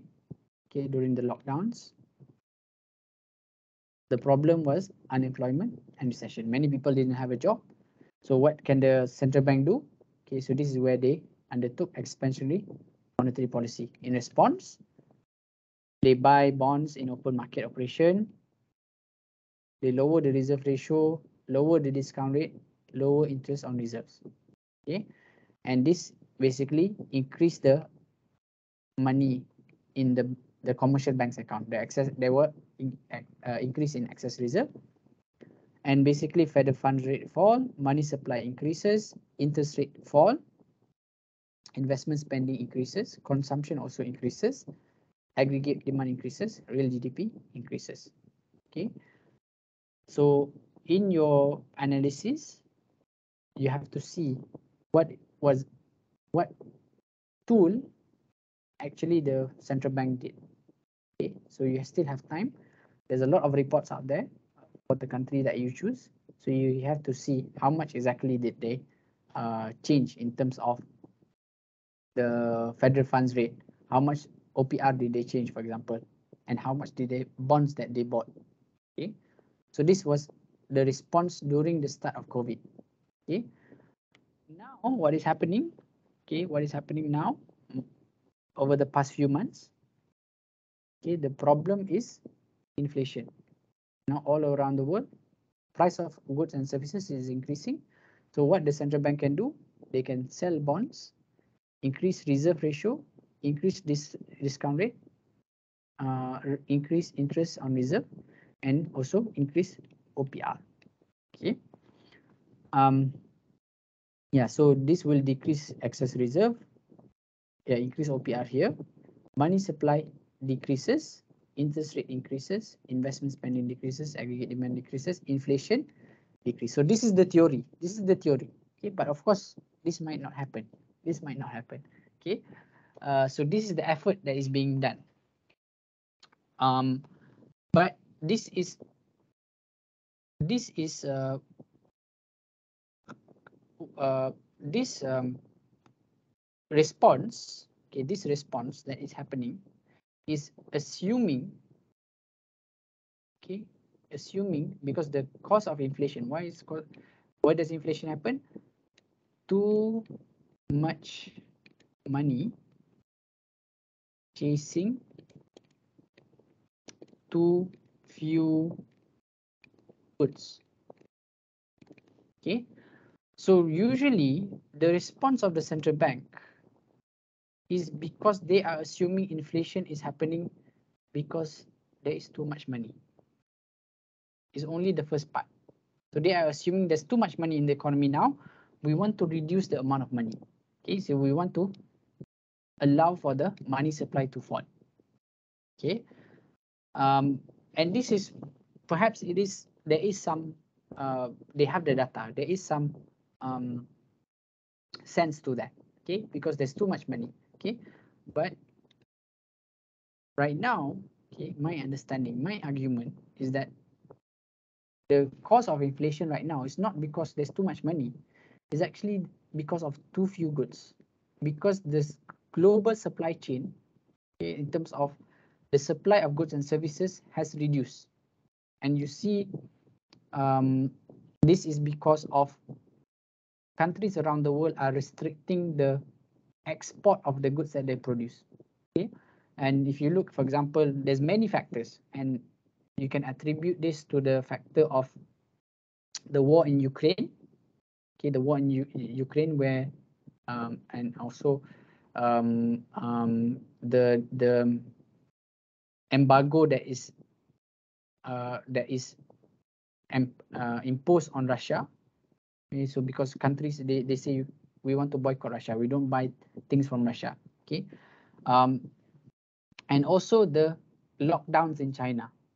So the China because of the lockdowns in China, they are not producing it. Uh, the, the factories are closing, and they are not producing goods, right? And because of that, the the amount of goods that are in circulation is actually has actually re reduced, okay, and therefore it, it it has caused the the problem of inflation that is happening right now, okay. So in this case, there is some sense in reducing the money supply, but actually the, the main problem is the supply of goods and services in the global economy right now. So this must be addressed. Okay, even in Malaysia, we have currently, I think the current crisis is there is a shortage of chicken. So the, the cost of inflation is not because people have too much money, but actually because the supply of chicken is restricted. And because the, the main reason is because of the increase in cost that the suppliers are uh, or the producers of chicken have to bear. Because they because they are buying uh, chicken feed right? Chicken feed the food of the chicken usually they import from outside and now the price of the chicken feed has increased. And because of that they are buying less of the chicken feed. And because they're buying less they can only produce less amount of chicken. So then the amount of chicken in the economy is uh, reduced um, and have put pressure on the prices of chicken. Right, so I think uh, in the next few weeks, uh, the the minimum, uh, the the maximum price of chicken uh, will no longer be there because it is a control item. But the government, I think, recently announced that they cannot put a, a, a, a minimum, a maximum amount. Okay, so they cannot put a ceiling.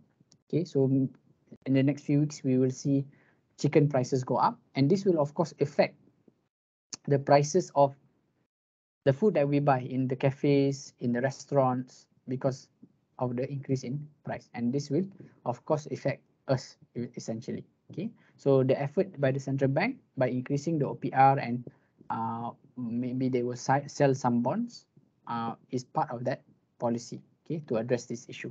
Okay.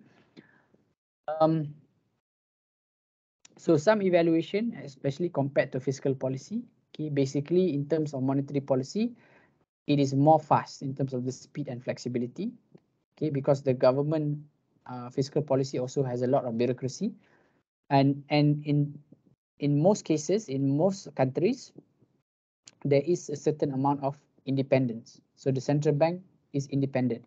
The central bank independent and has its own autonomy. So it decides on its own what monetary policy should we do. Okay, and basically when this happens, it is isolated from political pressure in most countries. Okay, in most countries, the government cannot interfere in the monetary policy that central bank has decided. Okay, um, but there are cases where uh, the central bank is also um, uh, exposed to political pressure as well. Okay, I think most recently in Turkey, where where the where the president, I think a few years, a few months ago or a few years ago, the president basically uh, fired the govern governor of the central bank and then appointed person that is close to him that will follow his um, uh, his desires. Okay, uh, so in that case there is no more independence. Okay, um, and another advantage is that monetary policy is more subtle than fiscal policy. Okay. Yeah, and then uh, yeah, so you can see I think in the, in uh, the, the response during global financial crisis was similar to the response during COVID. Okay, so they they undertook uh, expansionary okay, expansionary monetary policy.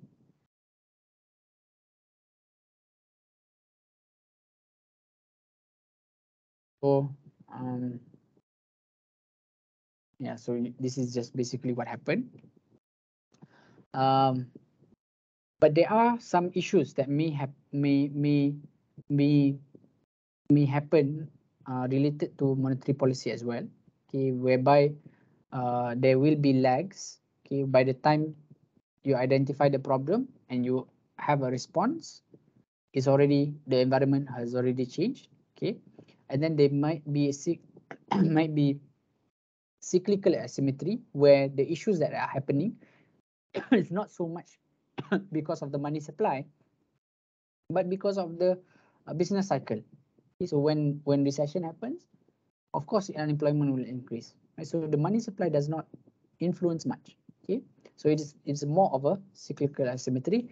And then finally, there there there are cases in some European and developed countries where there is a liquidity trap, whereby if they if they lower the interest, it actually doesn't affect the money supply because people people are still saving uh, uh, high and they are not consuming. Okay, so these are I think in in in European countries during the global financial crisis, and also in in Japan right now. This is still ongoing because Japan they are they are lowering the interest rate, but people are still saving. They are not consuming much, and this is partly because of the aging society, and also they are not uh, a consuming. They are not consuming much. They are like a minimalist society that doesn't change their spending behavior despite the interest rate. So even though the interest rate is low, they still don't change their behavior okay, because of their uh, lifestyle. Okay, and also because of the aging society, they are already old. They they don't see any need to change their lifestyle based on the interest. Okay, so this basically, even though the interest has changed up or down, it doesn't influence people's consumption. It doesn't influence their investment. Okay, and when this happens, the monetary policy will be ineffective. Okay, and I think in some uh, European countries during the uh, global financial crisis, the interest rate was zero.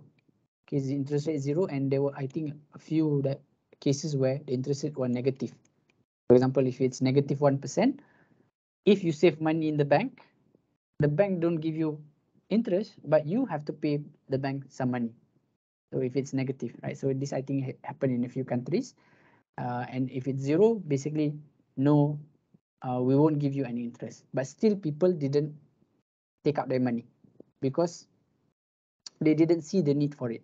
Okay, even if we take out the money, we don't spend it. Okay, so this will make monetary policy ineffective. Okay.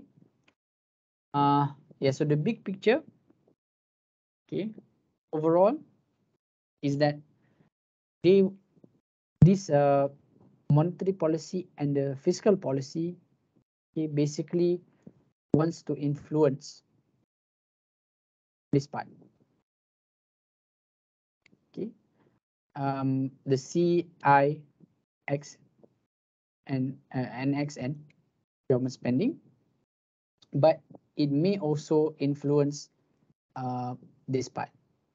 Okay, whereby if interest rate interest rate go down, okay, investment may go up, and when investment go up, maybe in some cases will influence the input, uh, the price of resources, and this will eff- effectively affect the aggregate supply.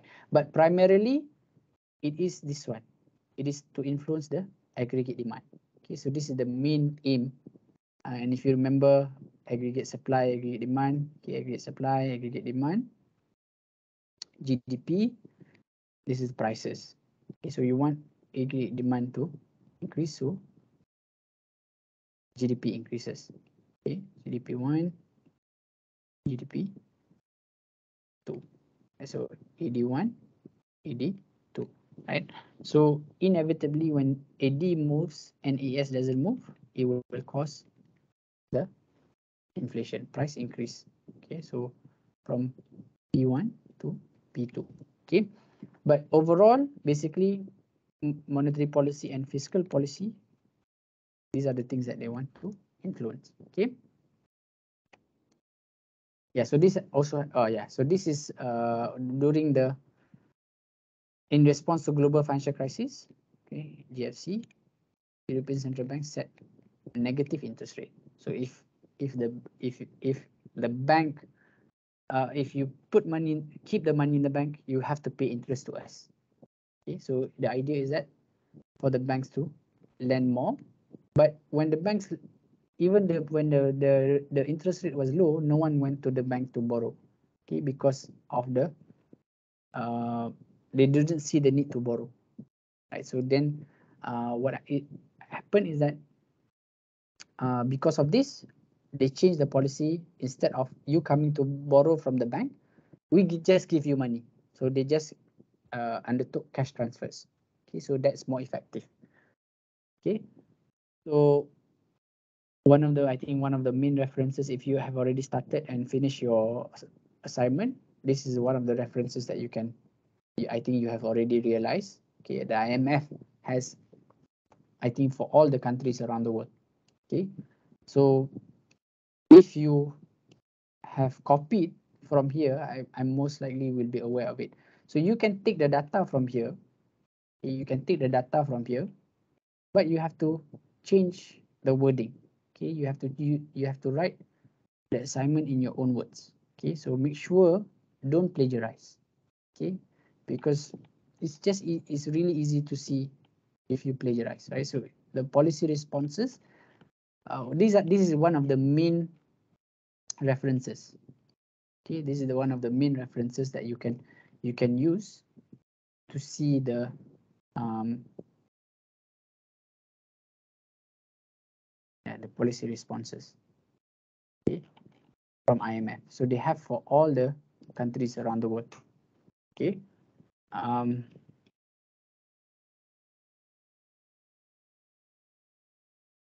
for Malaysia,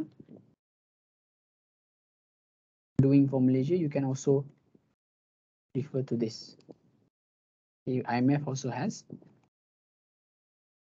And this is also one of the references that you can do. So this is this is the report that I I did for a German uh, German uh, institute. I, I I- still don't know how to pronounce this Friedrich Ebert Stiftung. Stiftung. Okay, so they asked me to to to do a report on what is the impact of COVID-19 and what is the uh, policy responses, not only not only the fiscal and monetary policy, but also I looked at other types of policies that they can undertake. Okay, so this is yeah, you can you can download the publication here. So I did this during the start of COVID. Okay, during the start of COVID, and I was looking at what what what was the effect and what can be done. Okay, so these are and it was published in December, December 2020. So I did it, I think around middle of December, I started to see what is the data, what is the effect and what is the response by the government. And then by, by December, it was already published. Okay, so this is also, an, if you want to refer for Malaysia, this is also one of the references that you can, you can use. Okay. But of course, after, after December 2020, uh, even August until December, and then after that in 2021, there's a lot of other policies that the government also undertook. Okay. Um, let me just share this one.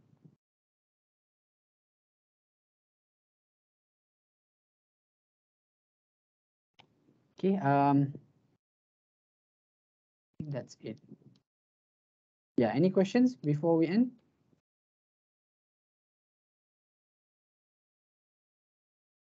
Uh, can you hear me? Yes, doctor. Okay. Uh, eh, repo rate and OPR is the same or uh, they are different? Uh, repo rate is more similar to a bond. Yeah. A bond is is is if I if I if I sell you a bond, I give you a piece of paper, right? I this is a bond. I owe you some amount of money, and you give me money, right? So repo rate is similar, but instead of a bond, I give you a, uh, a loan, or, or you give me a loan, and I will I will um um um you give me money, okay, I will give you a piece of paper that I have a repo, okay, and okay, the repo is basically saying that if I don't pay you back, you can take my bond. You can take uh, a bond that I have as a collateral. Okay, so the repo is basically uh, related to the bond. You understand? Uh, So yes, let's say let's say I have a bond value at 1 million. Okay, I have a bond value at 1 million. Basically, this bond I bought from somewhere, someone else. And then this bond give me a return of 5%. Okay, so I have this bond. But then I, I go to you and I say, let's do a repo. Okay, let's do a repo. I want to borrow uh, 1 million from you. Okay, I want to borrow 1 million from you. Um, and I will pay you a certain amount of interest. Okay, so you give me 1 million and I give you a piece of paper, the repo. Okay, the repo says that I owe you 1 million, I will pay you interest. But if I don't pay, if I don't uh, um, repay you, okay, for whatever reason I, I didn't repay you back this interest or the loan, you can repossess or you can take my bond. Okay, so this bond is a collateral. If I don't pay, the bond you can take. So that's that's the repo. Okay, understand? Yes, yes, Doctor. Okay. Thank. you. Any other question?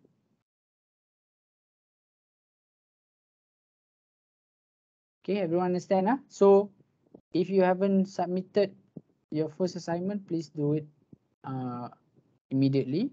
And then your the term paper, you still have time until the 7th. Okay, this the 7th of uh, uh, June. Okay, to to submit.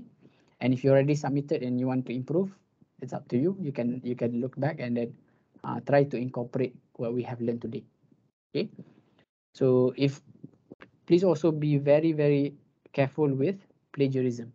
Don't don't simply copy paste because there's a lot of reports that you can uh, look at and read, and there's a, a lot of you know maybe you are uh, it's easy for you to uh, to just copy and paste and and change a few words here and there. Uh, but usually the the the plagiarism software Turnitin will detect that. So it's better for you to see the data again and then write in your own words. Okay. Uh, so this is also an exercise for you later on when you do your uh, dissertation. Okay. So in academia, if you uh, uh, get the information from someone else, you also have to have the citation. So if you get this information from uh, this report, for example, you have to put the citation for it. Okay. So uh, while I still remember, let me just share the uh, my report. What was it? I share the. Okay.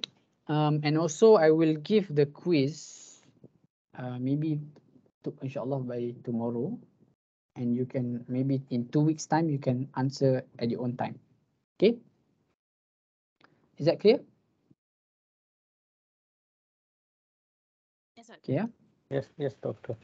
okay so if there's no more questions uh, we can end the class with uh, tasbih kafara and suratul an subhanakallahumma wa bihamdika ashhadu an la ilaha illa anta astaghfiruka wa atubu ilayk wal 'asri. Innal insana lafi khusr illa alladhina amanu wa amilus solihat wa tawasaw bil haqqi wa tawasaw bis sabr okay thank you very much everyone assalamualaikum warahmatullahi wabarakatuh